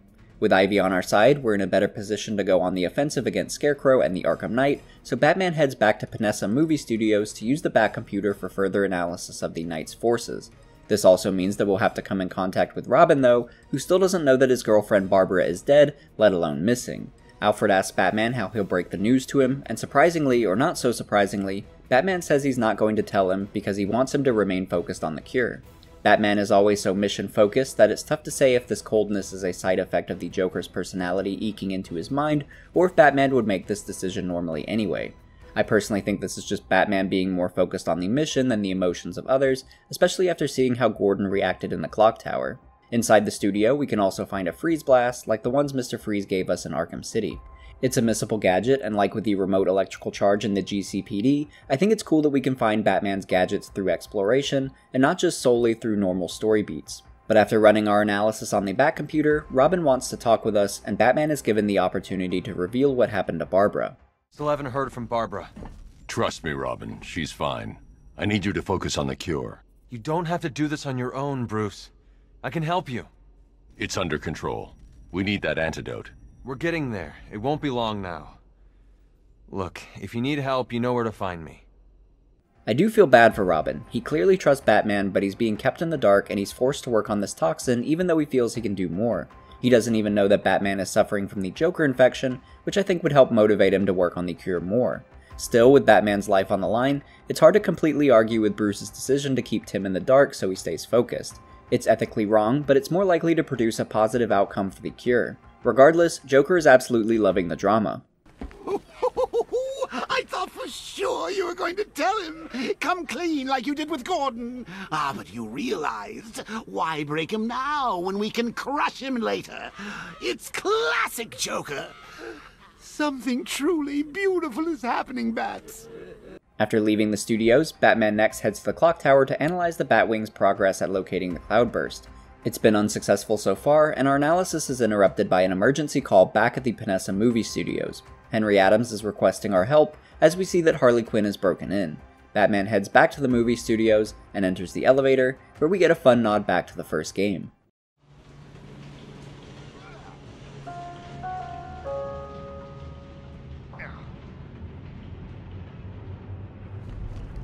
Ah, memories. You, me, and a ward full of psychotic killers. You've never felt so at home, have you? This moment is, of course, a nice nostalgic callback to the opening level of the first game, where Batman escorts Joker to his cell in Arkham Asylum. What? Don't you trust me? Our guest has arrived. After we're done hallucinating, we join Robin as he attempts to fight off Harley's men. This is another team combat section where we can switch between Batman and Robin, and these team battles are quickly becoming some of my favorite fights in the game due to their thematics and how fresh they make the combat feel. After defeating all the thugs, Batman and Robin interrogate the only conscious henchman, and it's pretty fun seeing them interrogate someone together. How did she find us? How did she get in? I'd let him know if I were you. He's not always in such a good mood. How should I know? I guess she's smarter than you think. Not likely. With that thug being a dead end, they turn to the Bat computer to see what they can learn. It seems Harley was pretty much able to stroll into the movie studios, bypassing the voice recognition scanner and the various other security protocols, which is very strange. Not only that, but she's broken all the infected prisoners out, and they're hiding out in different movie sets in the studio. Our goal now is to track down each one and lock them back up, while also attempting to find Harley. Thankfully, Henry is still here, so we have him wait in this room while we hunt down the others. As we continue further into the studio, we find another movie poster, this time for Dr. Dorian's Island of Mutants. Like the Dark Interlude poster, this is a reference to another Batman the Animated Series episode. Dr. Dorian is a scientist who experiments with genetic engineering, splicing the DNA of different creatures on his private island.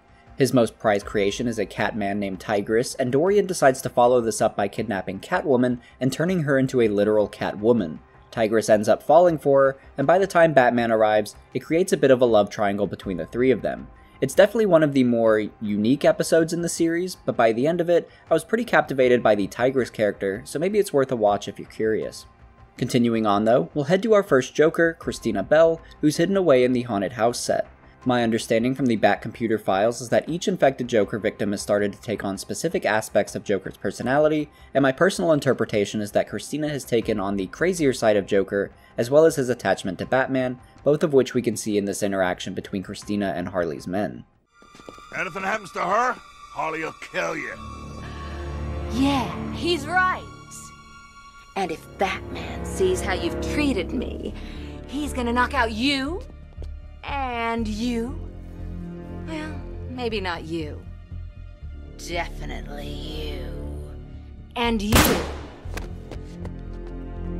Oops. well, that evens things up a little. Anyway, when he's done with you chumps, me and Bats will have this place all to ourselves. So get out there and make him show you how much he wants me.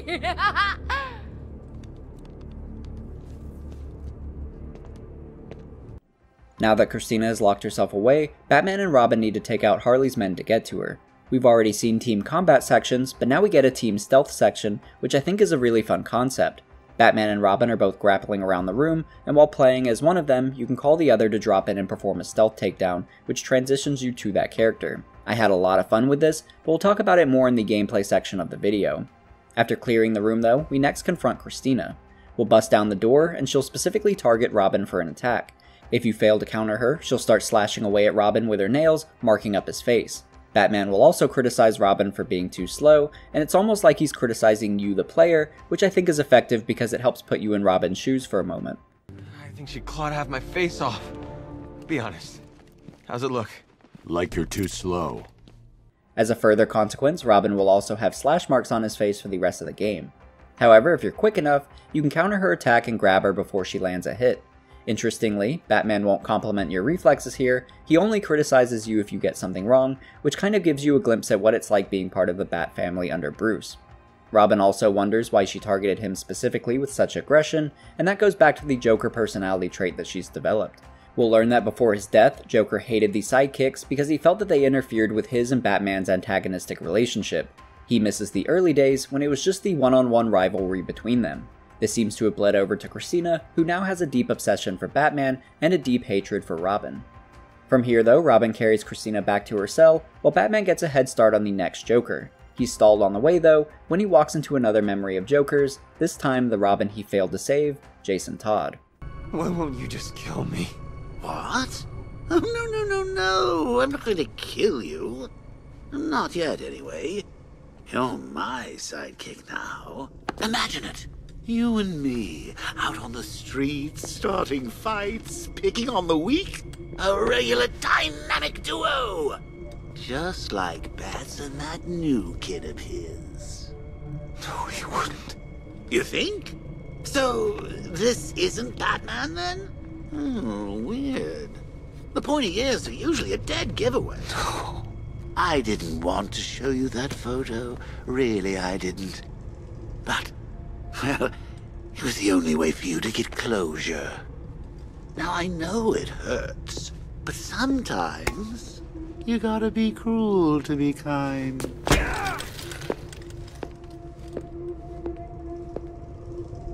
So let's talk about Jason Todd for a moment and how he came to get to this place. In the comics, Batman randomly encountered Jason when he found him stealing the tires off the Batmobile. Jason was an orphan like Bruce and was resorting to crime to help himself survive on the streets. Batman saw that the kid was skilled but on the wrong path, so Bruce adopted him and trained him to be the next Robin. Jason was a good Robin, but he also had violent tendencies and a rebellious attitude, often disobeying Batman's orders. One day, Jason learned that his birth mother, Sheila Haywood, might actually be alive, so he and Bruce went on the hunt for her, which brought them to Ethiopia. Coincidentally, Joker just so happened to be looking for her too, because she's a doctor from Gotham with a troubled past that he could easily blackmail for medical supplies. Joker beats Batman and Robin to her, and she reluctantly agrees to help the Joker. Later, Jason is reunited with his mother, and he finally seems to be happy. However, shortly after this reunion, he notices her leaving with the Joker. He tails them to a supply depot and learns that Joker has blackmailed her and that he's also swapped the medical boxes with ones filled with deadly laughing gas, which are about to be transported to the camp Sheila works at. Jason races over to Batman to inform him of the situation, and Batman is forced to make a choice. He decides he needs to get to the cargo truck first before saving Jason's mom. He also knows Jason isn't ready to face the Joker, so he tells him to wait here until he gets back. Jason agrees, but once Batman leaves, he decides he'll take on the Joker by himself anyway. So Jason returns back to the supply depot, where he tells his mother that he's Robin and can help her out of this situation. She tells him that the Joker is gone and leads him deeper into the depot. At this moment, we learn that Joker is actually still there and that Sheila has betrayed her son in hopes of saving herself. She's also been embezzling money, and she worries that if Robin apprehends Joker, then her crimes will be revealed. As if things couldn't get worse for Jason, Joker then proceeds to beat him close to death with a crowbar. Sheila also learns that her cold hearted betrayal was pointless as the Joker ties her up and sets a bomb to explode. Jason regains consciousness and tries to help his mother escape, but they run out of time and the bomb explodes. What happens next was actually left up to the readers, as we can see on this original ad. Readers were given the power to decide the fate of Jason Todd and could call in to cast their vote. Grimly, readers ultimately decided that Jason should die, which leads to this iconic image of Batman holding Jason's dead body. DC later revealed the alternate panel that was drawn had readers chosen to keep Jason alive, and it's pretty interesting to think how Jason's story could have played out had he been kept alive. As far as what happens after Jason's death, things get pretty wacky, as at the end of that same issue, we next see the Joker as the Iranian ambassador to the UN, which grants him diplomatic immunity. Comics are just weird sometimes. But shortly after this is also when the next Robin was introduced, Tim Drake.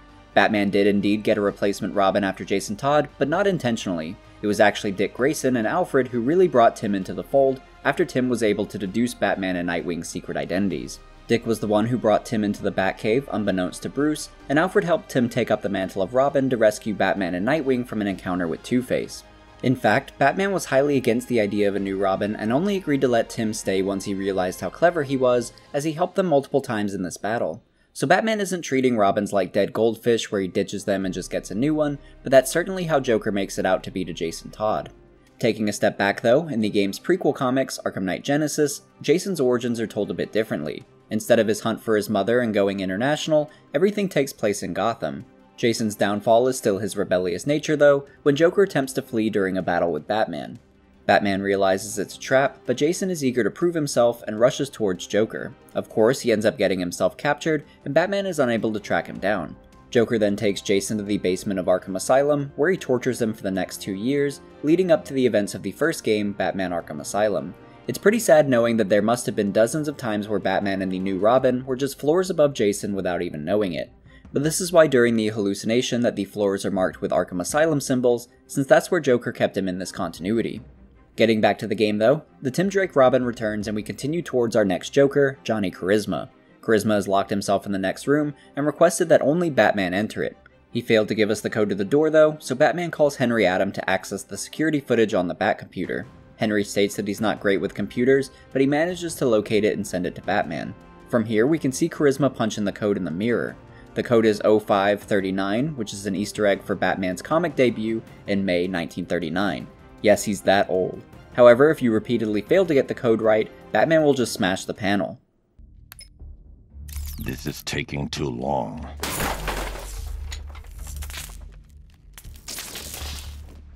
Once we're inside the room, we find Charisma wearing a bomb vest and standing on the stage. There are also bombs scattered around the room, so things are pretty serious.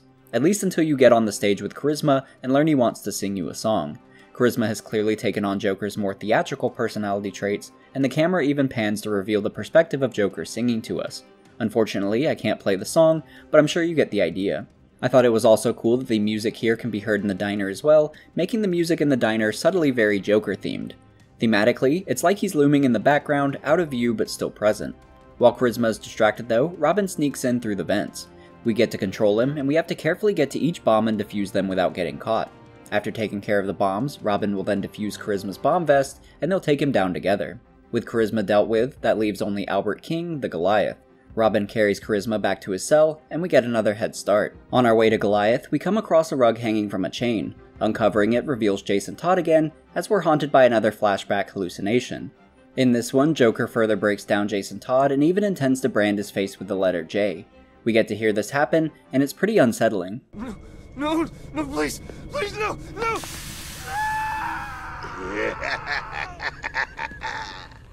Batman shakes it off though, and together with Robin, they confront Goliath. He seems to have Joker's more aggressive personality traits and wants to fight us. This leads to another team combat encounter, and it's just as enjoyable as the prior ones. After defeating Goliath, Batman makes Robin carry him back to his cell, which seems pretty cruel. Robin's been getting his squats in though, since he's actually able to pick up Goliath and carry him back. Before leaving, we can explore another room near this set, and it has a lot of pyrotechnics in it, along with a movie poster for The Inferno. This is a reference to the villain Firefly, aka Garfield Lynns, who before becoming a villain worked for the movie studio as an effects artist and pyrotechnic on the Inferno film. In the Bat computer files, we learn that although the movie won awards, it was a financial flop. Garfield was then asked to meet with head of the studio, Tommaso Panessa, who while smoking a cigar, fired him. Garfield reacted by spitting nitroglycerin at him, lighting him on fire. Looking at the movie poster again, it seems Garfield took inspiration from the suit depicted on the poster, since it's very reminiscent of his Firefly suit. After leaving this room, we head back to the main lockup and go into the underground vents in an attempt to get the upper hand on Harley's guards. Harley shows up first though, putting a wrench in our plans. Robin then steps up to distract Harley and lower her guard. I really love the characterization of this Robin and how he understands that villains see him as lesser to Batman and how that gives him the power of underestimation. He also has a good line where he uses that as a jab against Harley. Oh, look who it is! Batman's little helper. Looks like he left you all alone. Nah, he figured I could handle you by myself. He doesn't take you very seriously. Neither do I. He's successful too, as this gets Harley to unlock the gate and put her in position for Batman to take her down, even though it also puts himself at risk. You can actually betray Robin here if you neglect to jump out the vents and take down Harley. As time goes on, you can feel both Robin and Harley start to get really agitated with you.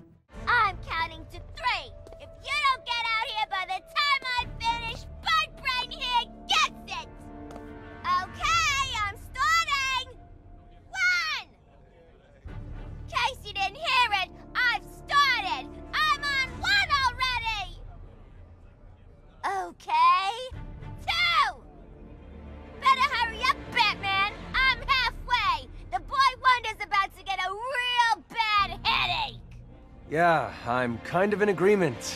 Any time now would be good. If you let this go on even longer, you'll get some additional lines from Harley regarding Jason Todd, including a unique death screen after she shoots Robin. Did the B-Man ever tell you about Jason Todd? I'm guessing not. That's his guilty little secret. Jay said it was special. Said it was his finest work. You know, it's funny. Seems Batman's got a habit of leaving Robins to die. Looks like history's repeating itself, kid.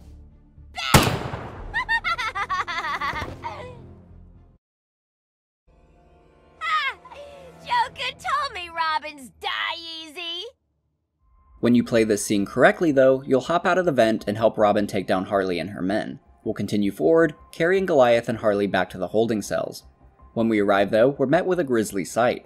Both Christina and Charisma have been shot dead in their cells. It's then revealed that Henry Adams was the one who killed them, and that he's been pretending to be immune to Joker's infection this entire time. In fact, he might be the most dangerous of them all, since it seems he's acquired Joker's cunning and maniacal nature. While the others have been obviously evil, Henry has been plotting. We learn he was lying about being bad with computers and actually managed to reprogram Batman's security in the studios. In one of the unlockable files, we also learn that Henry was the one who tipped off Harley, and that's why she was able to locate and infiltrate the studio. Henry has one quirk that even Harley can't get behind though, and that's Henry's desire to purify the gene pool and kill the less worthy Jokers. This ends up being his downfall when he realizes that Batman is the final and better Joker, so he decides to shoot himself.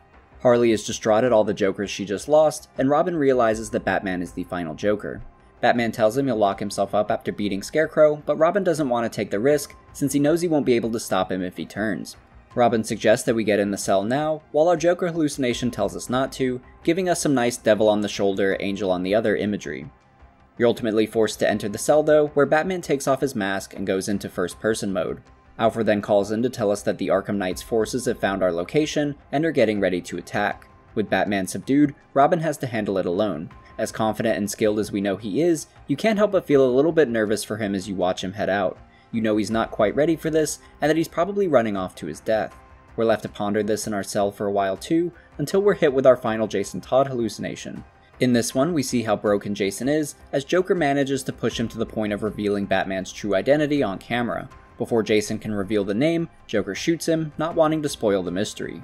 Joker's last message to Batman in this tape is important too. After all, you've seen what happens when you drag your friends into this crazy little game of ours. We saw that same quote written on the wall during our hallucination of Barbara's injury, showing that this line is stuck in Bruce's head for a long time now, having failed both Barbara and Jason. Once we return to reality, we learn that going into the cell was a separate hallucination, and almost more of a premonition of what's to come if we choose to lock ourselves up, and we're given the choice again. This time we can legitimately choose what to do, and if you decide to go back into the cell again, Joker will keep returning and having us choose again. We break this loop when we decide to throw Robin into the cell instead, really pissing him off. After seeing that hallucination, Batman is scared to lose another Robin and is locking him up in hopes of keeping him safe. He also cuts his communications so he can't reach out to Alfred, so we'll just leave him in here. Although, if you really want to pour salt in the wound, you can take this moment to tell him Barbara is dead as well, which angers him further. Tim, there's something you need to know. Something's happened. No. Not her. Don't say it. Barbara's. She's dead. I'm sorry. Let me out. I can't. They're targeting everyone close to me. I won't let them get you as well. Bruce, please. I have to do this. No. You son of a bitch! How dare you! You don't get to decide! Get away from me! Go!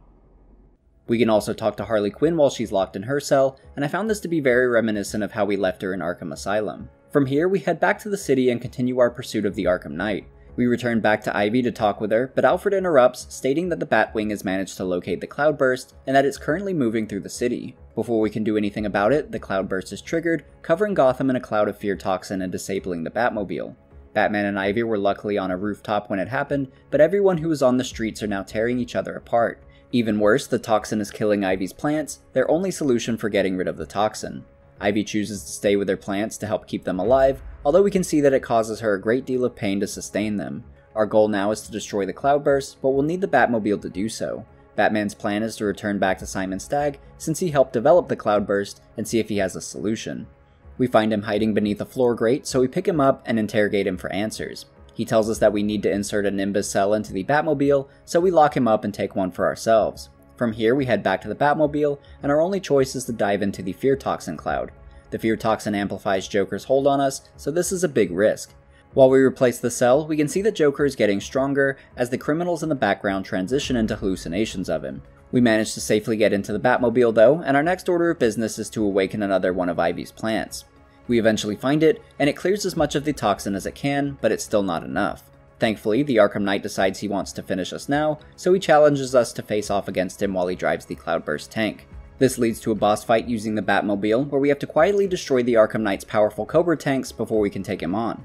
The Cobra tanks only have one weak point, so you have to position yourself behind them and lock on before you're able to blow them up.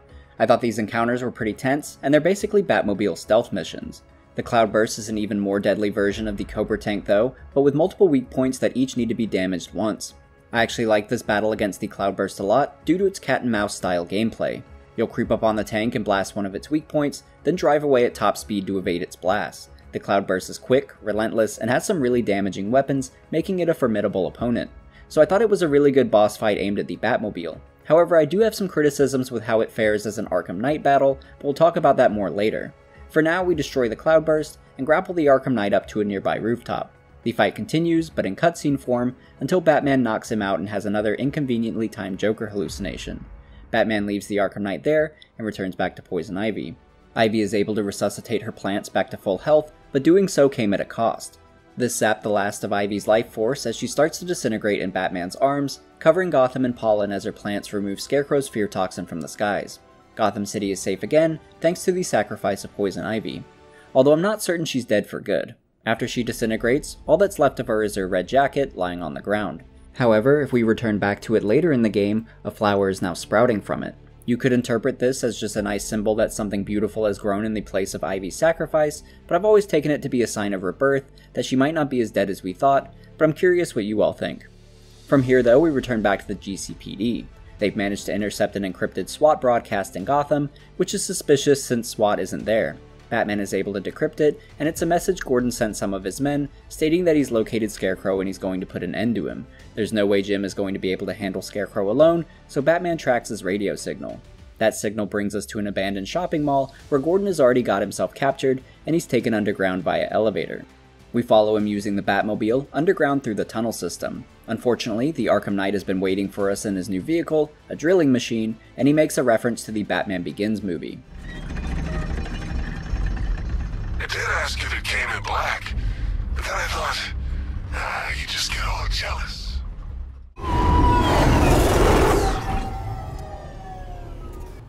Does it come in black? He then chases us through the tunnels, but luckily, some bombs have been planted along the edges that damage the Knight's vehicle. There are a few other tunnels like this one with the bombs, so our goal now is to lure the Arkham Knight into the mall. Like with the Cloudburst tank, I thought this was a fun Batmobile-centric boss fight, and it was tense navigating the obstacles of the tunnel with the Knight close on my tail. However, I'm also beginning to wish I could fight the Arkham Knight hand to hand instead of always through a vehicle. Regardless, after luring him through all the bombs, we find a potential exit through a vent in the ceiling. Right on cue though, the Arkham Knight shows up, believing he has us trapped. He also takes a moment to reveal that he was the one who told Scarecrow how to find Barbara, and that he knows Bruce Wayne is Batman, but he's kept that secret to himself for now. Before the Arkham Knight can crush him, Batman ejects out the car and through the vent, but the Batmobile was destroyed in the process. If Batman could cry, I think this would be one of those moments. Still, we have bigger concerns, and that's rescuing Gordon, who's just in the next room. He's surrounded by militia troops, so we jump in and take them all out. Before we get a chance to untie Gordon, the Arkham Knight shows back up, this time ready to reveal his identity. If you haven't guessed it already, it's Jason Todd, the Robin that Batman thought was dead. For fans that were familiar with the comics, this reveal was pretty predictable, with many fans guessing the Arkham Knight's true identity before the game even released. Even if it's not a highly effective twist, I still think Jason Todd is a good antagonist for this game's story. Having a shadow of the past mysteriously return for the hero to face is typically a concept in storytelling that I enjoy, and that applies here with Jason, especially since so much of the story has been built around him, and I like how it's been paired with the Joker. Throughout the game so far, we've been getting a lot of good character moments for Batman, where we get to witness some of his biggest regrets. Since Batman is so internal, I think hallucinations were a good way to demonstrate these regrets, namely the attack on Barbara and the death of Jason Todd. Now having Jason return face to face with him, you can imagine how Bruce must feel. On the one hand, he sees the consequences of his failure to save Jason and how it's warped his mind. On the other hand, Bruce now has a second chance to save Jason and put him on the right path again. But what about Jason's arc in the comics, and how does it tie in with the game? So Jason did stay dead for quite a while in the comics until he was brought back in a series called Under the Red Hood. Jason Todd is Red Hood, and his introduction in the comics is similar to the one he gets as Arkham Knight, where he's a mysterious new player in Gotham that quickly makes a name for himself. Red Hood is primarily targeting the villain Black Mask in this series, but he'll also cross paths with Batman, leading to the two of them to duke it out until one fight where Jason reveals himself to Bruce. We also learn why Jason carries a grudge against Batman, and it's a little different from how the game portrays it. In Arkham Knight, Jason is upset that not only did Bruce fail to save him the whole time he was being held by Joker, but he also replaced him with a new Robin shortly after his disappearance. In the comics, Jason says he forgives Bruce for not saving him. His issue is that Batman didn't kill the Joker for what he did to him. He states that if the Joker had killed Bruce, he would have made sure to hunt down Joker and murder him. But Bruce has just let the Joker live repeatedly after all the crimes and murders he's committed following Jason's death. With Joker being dead in the Arkham continuity, I guess that motivation wouldn't really work for this game, so I think the direction they went here was still effective. But how exactly did Jason return from the dead in both the comics and the game? In the comics, it's revealed that in a separate series, Superboy Prime altered certain moments in time, one of which was Jason Todd's death. This reanimated Jason in his coffin, and he was able to break free like a zombie. A zombie might not actually be too far off, because he suffered a lot of brain trauma in that beating from Joker and was pretty much just moving around based on pure instinct. He ended up living on the streets again until a homeless man recognized Jason's fighting moves, pinpointing him as Robin. This same homeless man also had connections to Talia al Ghul, Bruce's former love interest, and she arranged to pick him up and take care of him. She trained him as much as she could, but the trauma from his death was still too severe, so she threw him into the Lazarus pit, which brought him back to full health and recovered his memories. In the prequel comic for the game, we learn that Jason managed to escape captivity during the chaos of the first game and had a little help from Deathstroke, who Jason bribes to help him escape. This also forms the backbone of their relationship in the game, but we'll talk about Deathstroke a bit later. Going back to the game though, I like this nod we get to Jason's Red Hood identity as the Arkham Knight outfit transitions into a hybrid of the two. Jason's not ready to forgive Batman yet, so he's on the hunt once again, taking us into another boss fight. Thankfully, this one won't take place in the Batmobile and is instead more of a stealth fight. Jason has taken up a sniping position, so we have to sneak around and catch him off guard. Each time we're able to grab him, Batman makes an attempt to talk him down. These are some of my favorite moments between the two of them, mostly due to the performance of Troy Baker, voicing Jason Todd. As Batman speaks to him, you can tell Red Hood is really conflicted with how to feel. He's still driven by the vengeance he wants against Batman, but you also get a sense that deep down, he wants to go back to that father son relationship that they used to have and I think the voice acting really delivers that, with the wobbliness of Jason's voice in these moments. Joker got to you. I know what it's like. Don't pretend to understand! After we catch him for the final time, they get a brief moment to talk, and Bruce reaches out to him. You did this to me! I'm sorry. You left me to rot in that abandoned wing of Arkham for over a year! With him. It's not too late. We can fix this. Together. And with that, they both come to a silent truce as Batman gives Alfred the news that Jason Todd is back. In that time, Jason took the opportunity to escape. With the Arkham Knight taken care of, we can now return to rescuing Gordon, he tells us that Scarecrow is on the top floor, so we ride the elevator to get there. During the ride, Batman takes a moment to apologize for everything with Barbara and mentions what an honor it was to work alongside her. Gordon must have heard Jason call us Bruce during the fight, since he now addresses us as such, recalling the day he first met Bruce after getting his witness statement the night his parents were murdered. The knowledge of Bruce's identity seems to have disarmed Gordon a bit, and he treats us more calmly, even apologizing and stating that they're similar, and you get the sense that they've made amends. Once they reach the rooftop, Gordon and Batman confront Scarecrow together. This is one of my favorite cutscenes in the game because there's so much going on within it. Batman thinks that they finally apprehended Scarecrow and that he's got his friend back, but just like that, Gordon points the gun at Batman, stating that this betrayal was the only way he could secure his daughter. At that moment, Barbara is wheeled out, and you realize that Batman must have hallucinated her death. You actually get a couple of teases at this reveal ahead of time, too. Before dropping into the penthouse, it looks like there's a gas being expelled into Batman's side of the room, potentially a subtle fear gas. Another clue is during the actual death scene, where you see the Joker push the gun towards her. If he's a figment of Bruce's imagination, he shouldn't be able to move things in the real world.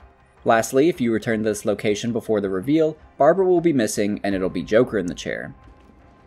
Hang on, did you leave something here? It was sort of uh, body shaped, wasn't it? During this cutscene, you'll also notice the camera is circling them this entire time, and although it can be slightly nauseating, I think Rocksteady chose this camera movement to elevate the feeling of confusion in the scene. The way the camera is moving, it feels like things are spiraling out of control, which is pretty cool if that was the intention. Things go back and forth quite a lot too, as Gordon attempts to turn the gun back on Scarecrow, who counters by bringing in more guards as he tells Gordon that his next decision will decide the fate of Barbara. Gordon then chooses to shoot Batman, but he aims for Batman's chest. We've been told by the Arkham Knight multiple times now that he knows our armor is strongest around the bat symbol, and it seems Gordon knew this too. Scarecrow didn't catch on though, and was actually mad at Gordon for attempting to kill Batman. Scarecrow doesn't want Batman dead yet, and he goes back on his deal with Gordon, wheeling Barbara to the edge of the roof, and it's definitely one of Scarecrow's creepiest moments. You don't scare me. It's okay to be afraid.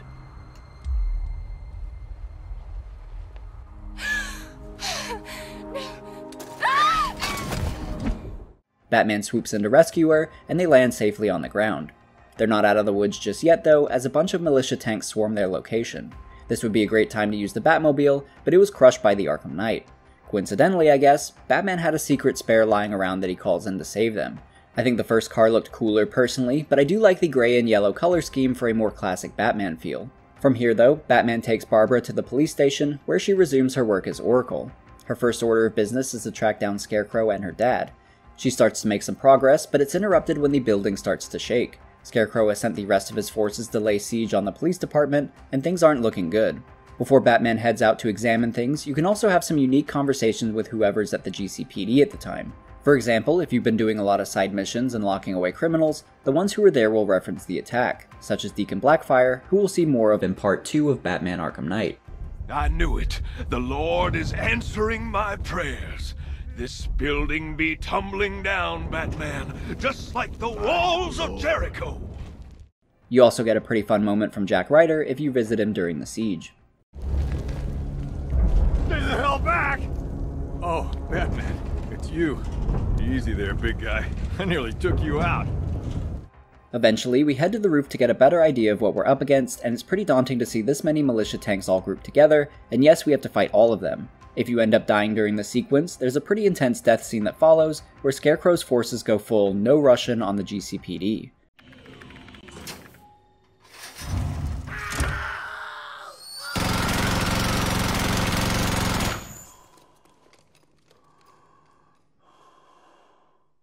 That definitely demonstrates what's at stake here, so we don't want to mess this up. Thankfully, we're not taking on the militia completely alone, as Oracle has found a way to hack some of their drones and take control of them. Just that minor aspect alone made this battle a lot more fun, since you really feel like you're working as a team, especially when Oracle can prime one of the drones to detonate when shot. I thought that was a fun way to freshen up the Batmobile combat, and I enjoyed this encounter quite a bit. We get a similar team up in the next phase of the battle, which takes place on the rooftop of the GCPD. This will be a hand to hand battle, and Oracle has the ability to control parts of the environment for takedowns. She'll call out when certain environmental takedowns are ready, and we can throw an enemy into them. I thought this was a clever way to let us fight alongside Oracle, and it ended up being a really enjoyable combat sequence. These are the last of the henchmen though, and after defeating them, we've saved the GCPD. We don't have any time to celebrate though, as Oracle has located Scarecrow and he's managed to gain access to the movie studios where we left Robin locked up defenseless. By the time we get there, Scarecrow has already kidnapped him. Scarecrow then sends us a message stating that he's got both Gordon and Robin locked up, and that if we want them to live, we'll have to go to a storage depot in Kingston. We don't have much of a choice, so we do as Scarecrow says. We might have one saving grace though, since when we arrive, there's a red symbol painted on the wall, and that's Red Hood's symbol, indicating that Jason is watching over us. Inside, we're greeted by another message from Scarecrow. He tells us to leave our utility belt on the table and enter the storage truck. Batman reluctantly agrees and walks into the truck. As it drives away, Alfred calls us to tell us that someone is tracking our movements. This must be Jason Todd, so we might have a slight edge on Scarecrow now. During the drive, though, the truck is hit and sent tumbling. When we exit, we're back in Crime Alley, the location where Bruce's parents were murdered. When we try to pay our respects, Joker shows up and starts a massive brawl against us. As you fight off the Jokers, you're able to perform takedowns on them, and Batman will perform much more brutal takedowns than he normally would. After doing enough of these, you're given the opportunity to kill the Joker. The game forces you to snap his neck, which transitions you back to the truck, as Joker seems to have progressed further into taking over. We next get a cutscene showing the path the truck is traveling, and this entire sequence mirrors the opening cinematic from Batman Arkham Asylum, where Batman drove Joker to the asylum. Scarecrow taking us to Arkham Asylum is fitting, and I like that Rocksteady are going for the thematics of the series ending where it began. It's pretty cool to see inside the asylum now too, as it's still overrun with Ivy's plants, and doesn't appear to have been touched since we were last there. We can even tell where exactly Scarecrow has us placed, based on the statue in the background, and it's bringing back a lot of nostalgia to the events of Arkham Asylum. We can also see that Crane has gone to a lot of trouble to set this up. Gordon and Robin are tied up nearby, and the media is already aware of our capture and potential unmasking. Scarecrow is succeeding in his plan, and the end seems close. Enough bravado. It's too late for that. I don't care who you are, but they will. I'm going to rob them of hope. As they stare into your eyes, they will blame you. Failure will have a face and a name. It's time. Mr. Gordon, I would like you to do the honors. Never. I'm done taking orders from you.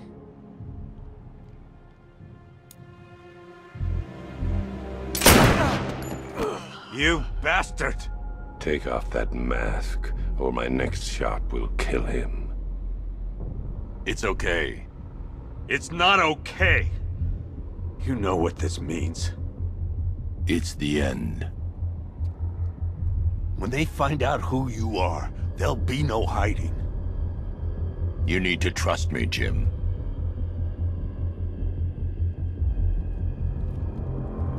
Now.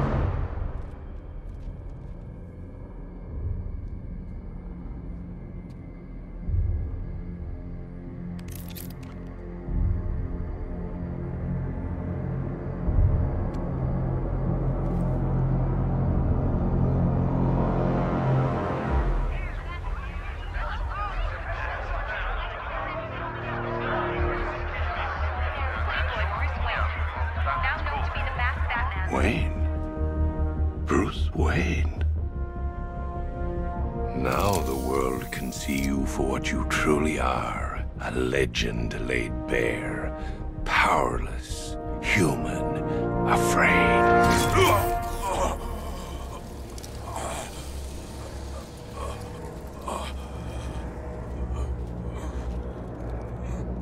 With the fear toxin in our system, we transition into Bruce's mind as we see Two Face, Killer Croc, Penguin, and Riddler decide what to do with us.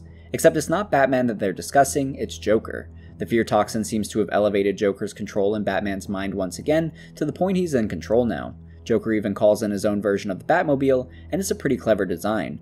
With the mouth on the front and the hands and feet above each wheel, it takes the theme of blending man and machine more literally in a way that's perfectly creepy for the Joker. Almost like a giant clown has been stuffed into the car. From here, we get to obliterate all the thugs in the area, and the finishing touch is a missile launch called the Killing Joke, a nod to the comic we've discussed a few times in this video. When Joker hops out of the vehicle, he's wielding a shotgun, and this section becomes a third person shooter. We'll then enter the building and shoot all of our rivals. Penguin is first, begging for us to spare him, but we'll shoot him anyway. By the way, this is another key section that the ESRB listed as deserving of an M rating, since we're shooting a lot of unarmed people. The Riddler part especially, since he decides to take a hostage. You can either choose to just kill the Riddler, or you can kill the hostage to get to the Riddler and kill him too, which is probably the most Joker thing to do. Although killing or sparing the hostage doesn't seem to impact the game. We'll next take out Two-Face, and after doing so, he turns into Gordon and begs us to stop, which I interpret to be a piece of Bruce's consciousness trying to take back control. Joker then leaves the building, and we get a vision of Gotham on fire, a glorious image for the Joker, and Batman's greatest fear. We then transition back to the real world as Scarecrow continues to try and intimidate us, not knowing that Joker has taken control of the body. Do you not understand? It is over. Get ready for the encore.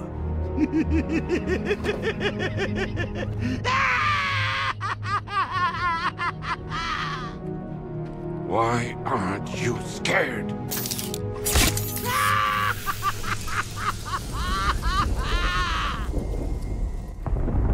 We transition back into Bruce's mind, and the battle for it continues. The burning Gotham City starts to black out as we're taken to a new location. Joker turns on his flashlight, and the first thing we see is a portrait of Batman carrying Joker's dead body. This is actually a repurposed concept art from Arkham City, and I think it was used well here. Batman is attempting to take back control by triggering Joker with different images. Woohoo! Crispy. For example, we stumble upon Joker's funeral and see that nobody attended except for Harley. Batman is playing on Joker's fear of being forgotten, and it seems to work pretty well. In another room, you can find a couple newspaper articles. One of them reads Harley Quinn and Riddler expecting first child, which might actually be scarier for Harley. Another reads Joker dies, Gotham doesn't care. During a radio broadcast, they also mention that Batman's arch nemesis is now the Penguin, which must be another low blow to Joker. When we head outside, we get a really cool moment where Batman statues will spawn in while we're not looking. It's really creepy and gives you the feeling of what it's like to be hunted by Batman, that he could be right behind you at any moment. Even scarier though is that Batman actually bursts out of one of the statues and attacks us. This takes us back to Arkham Asylum, as Joker calls in a mobile cell, probably as a method of escape. This is reminiscent of one of their earlier moments in Batman Arkham Asylum, where Joker escaped on one of these too. Unfortunately for him, this time it's occupied by Batman, who's on the offensive. There's no escaping him, and he grabs Joker, delivering one of his iconic lines from Batman the Animated Series. I am vengeance. I am the night. I am Batman. I am vengeance. I am the night. I am Batman. He then throws Joker into the cell and sends him away, symbolically locking away the Joker deep in the recesses of his mind. This takes us back to reality as we can visually see that Bruce has shaken off the Joker's influence. Scarecrow is still trying to prove his point that he has broken Batman, but it's not working. Bruce has mentally vanquished his fears and as a result is able to resist Scarecrow's toxin. Out of desperation, Scarecrow gets ready to shoot him when Red Hood jumps in, shooting the gun out of his hand as well as the bindings holding Bruce. Still on live TV, Bruce injects Scarecrow with his own toxin, and he sees a nightmarish Batman coming towards him surrounded by fire. More on that later. Gordon gets the final punch, knocking out Scarecrow, something I think he's definitely earned. From here, Batman says his goodbyes to Gordon and asks him to watch over everyone. He also tells him that he's been there since the beginning, and now he gets to see how it ends. That's pretty ominous, so what exactly is Bruce planning? The next we see of Batman, he's telling Alfred to activate the Knightfall Protocol, likely a reference to the comic series Knightfall, where Bane breaks Batman physically. Before you activate the Knightfall Protocol, you can still explore the city, complete side missions, and talk with NPCs. They'll all have a comment about you being Bruce Wayne now, so it's pretty cool to hear what everyone thinks about your secret identity. For example, here's another clip from Jack Ryder. Look, I uh, just want to say sorry for all those things I said to you about Bruce Wayne, and uh, all those things I said to Bruce Wayne about Batman. Another cool Easter egg can be found if you return back to Panessa Studios.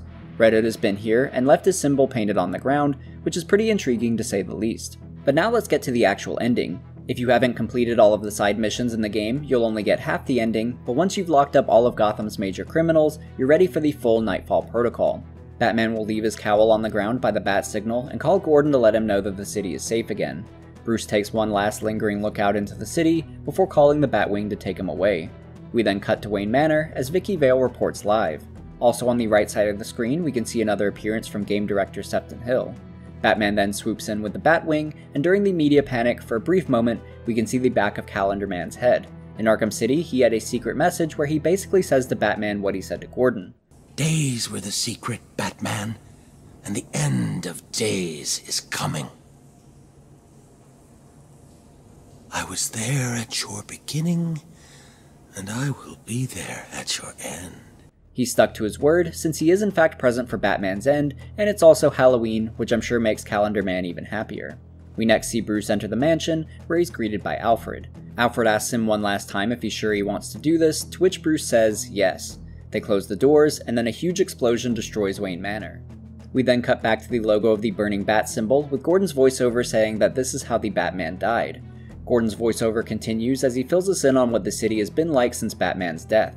He starts by saying that criminals are a cowardly and superstitious lot, an iconic line spoken by Batman in his earlier comics. We also see a text he received from Tim Drake requesting he bring the ring, so it looks like Tim is finally about to propose to Barbara. In the city, we can also see posters announcing the election of Jim Gordon as mayor, so things are definitely looking up for Gotham. Gordon also mentions that they're still looking into who might have killed Bruce Wayne, so it seems the primary belief is that a criminal killed him after learning his identity. We then cut to a family very reminiscent of a young Bruce Wayne and his parents the night of their murder. Similarly, they go to the back of the theater where they're jumped by two men, one of which we can actually see at the diner at the beginning of the game.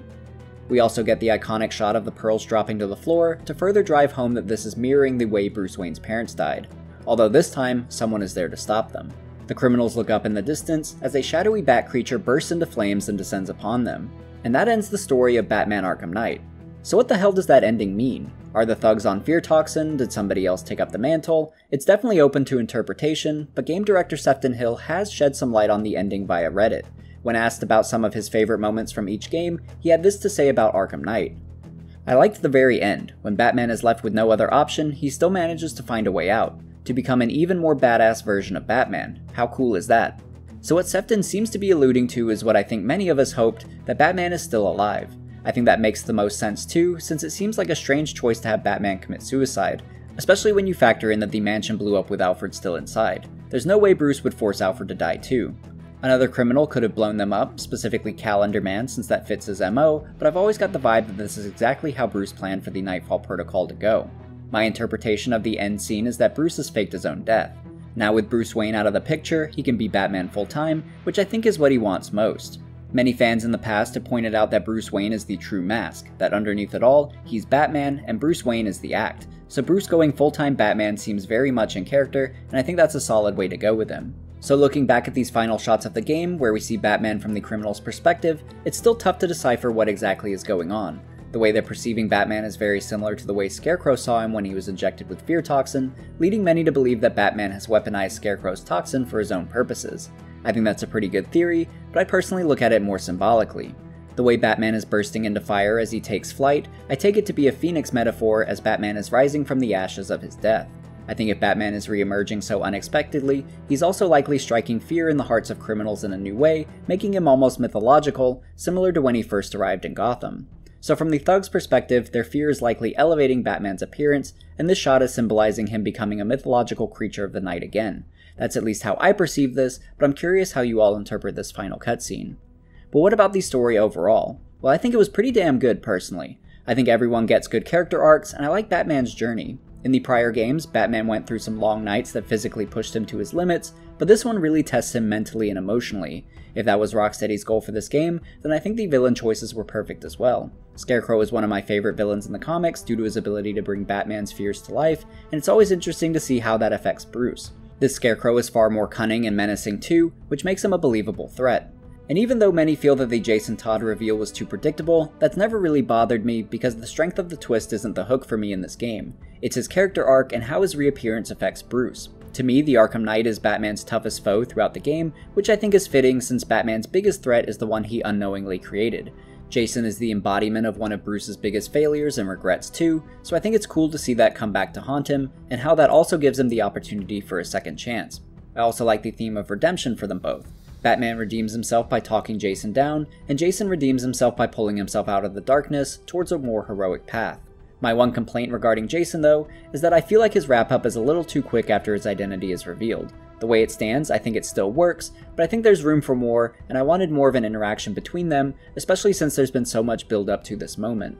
I do, however, think that the Joker is handled very well in this game. To start, I like that he's reintroduced in Ace Chemicals, since that's essentially the birthplace of the Joker, so it's a fitting place for his rebirth. I think his reveal was effective, and I like that he affects the plot as more of a background character without taking the spotlight from Scarecrow or Jason. I also like that Joker's hold on Bruce is increased by each injection of the fear toxin, amplifying the threat of it in a significant way. So I think these three villains form a cohesive unity for this game, boosting each other both intentionally and unintentionally, and they all fit the theme of internal trauma for Bruce. Along with that, I like that Bruce is forced to make some hard and unpopular decisions throughout the game, and it's interesting to see how those decisions affect the people around him. Throughout the game, characters will feel betrayed by Bruce, he'll lose close allies, and he'll have to earn back their trust, or at the very least, show them what led him to make those decisions so that they understand. We also get a strong sense of the potential risks involved with being Batman's ally. We of course see the attack on Barbara and the death of Jason Todd, but by the end of the game, we also see Gordon and Robin kidnapped. Everyone is caught in the crosshairs, and in these moments, I'm sure Joker's words are echoing in his mind again.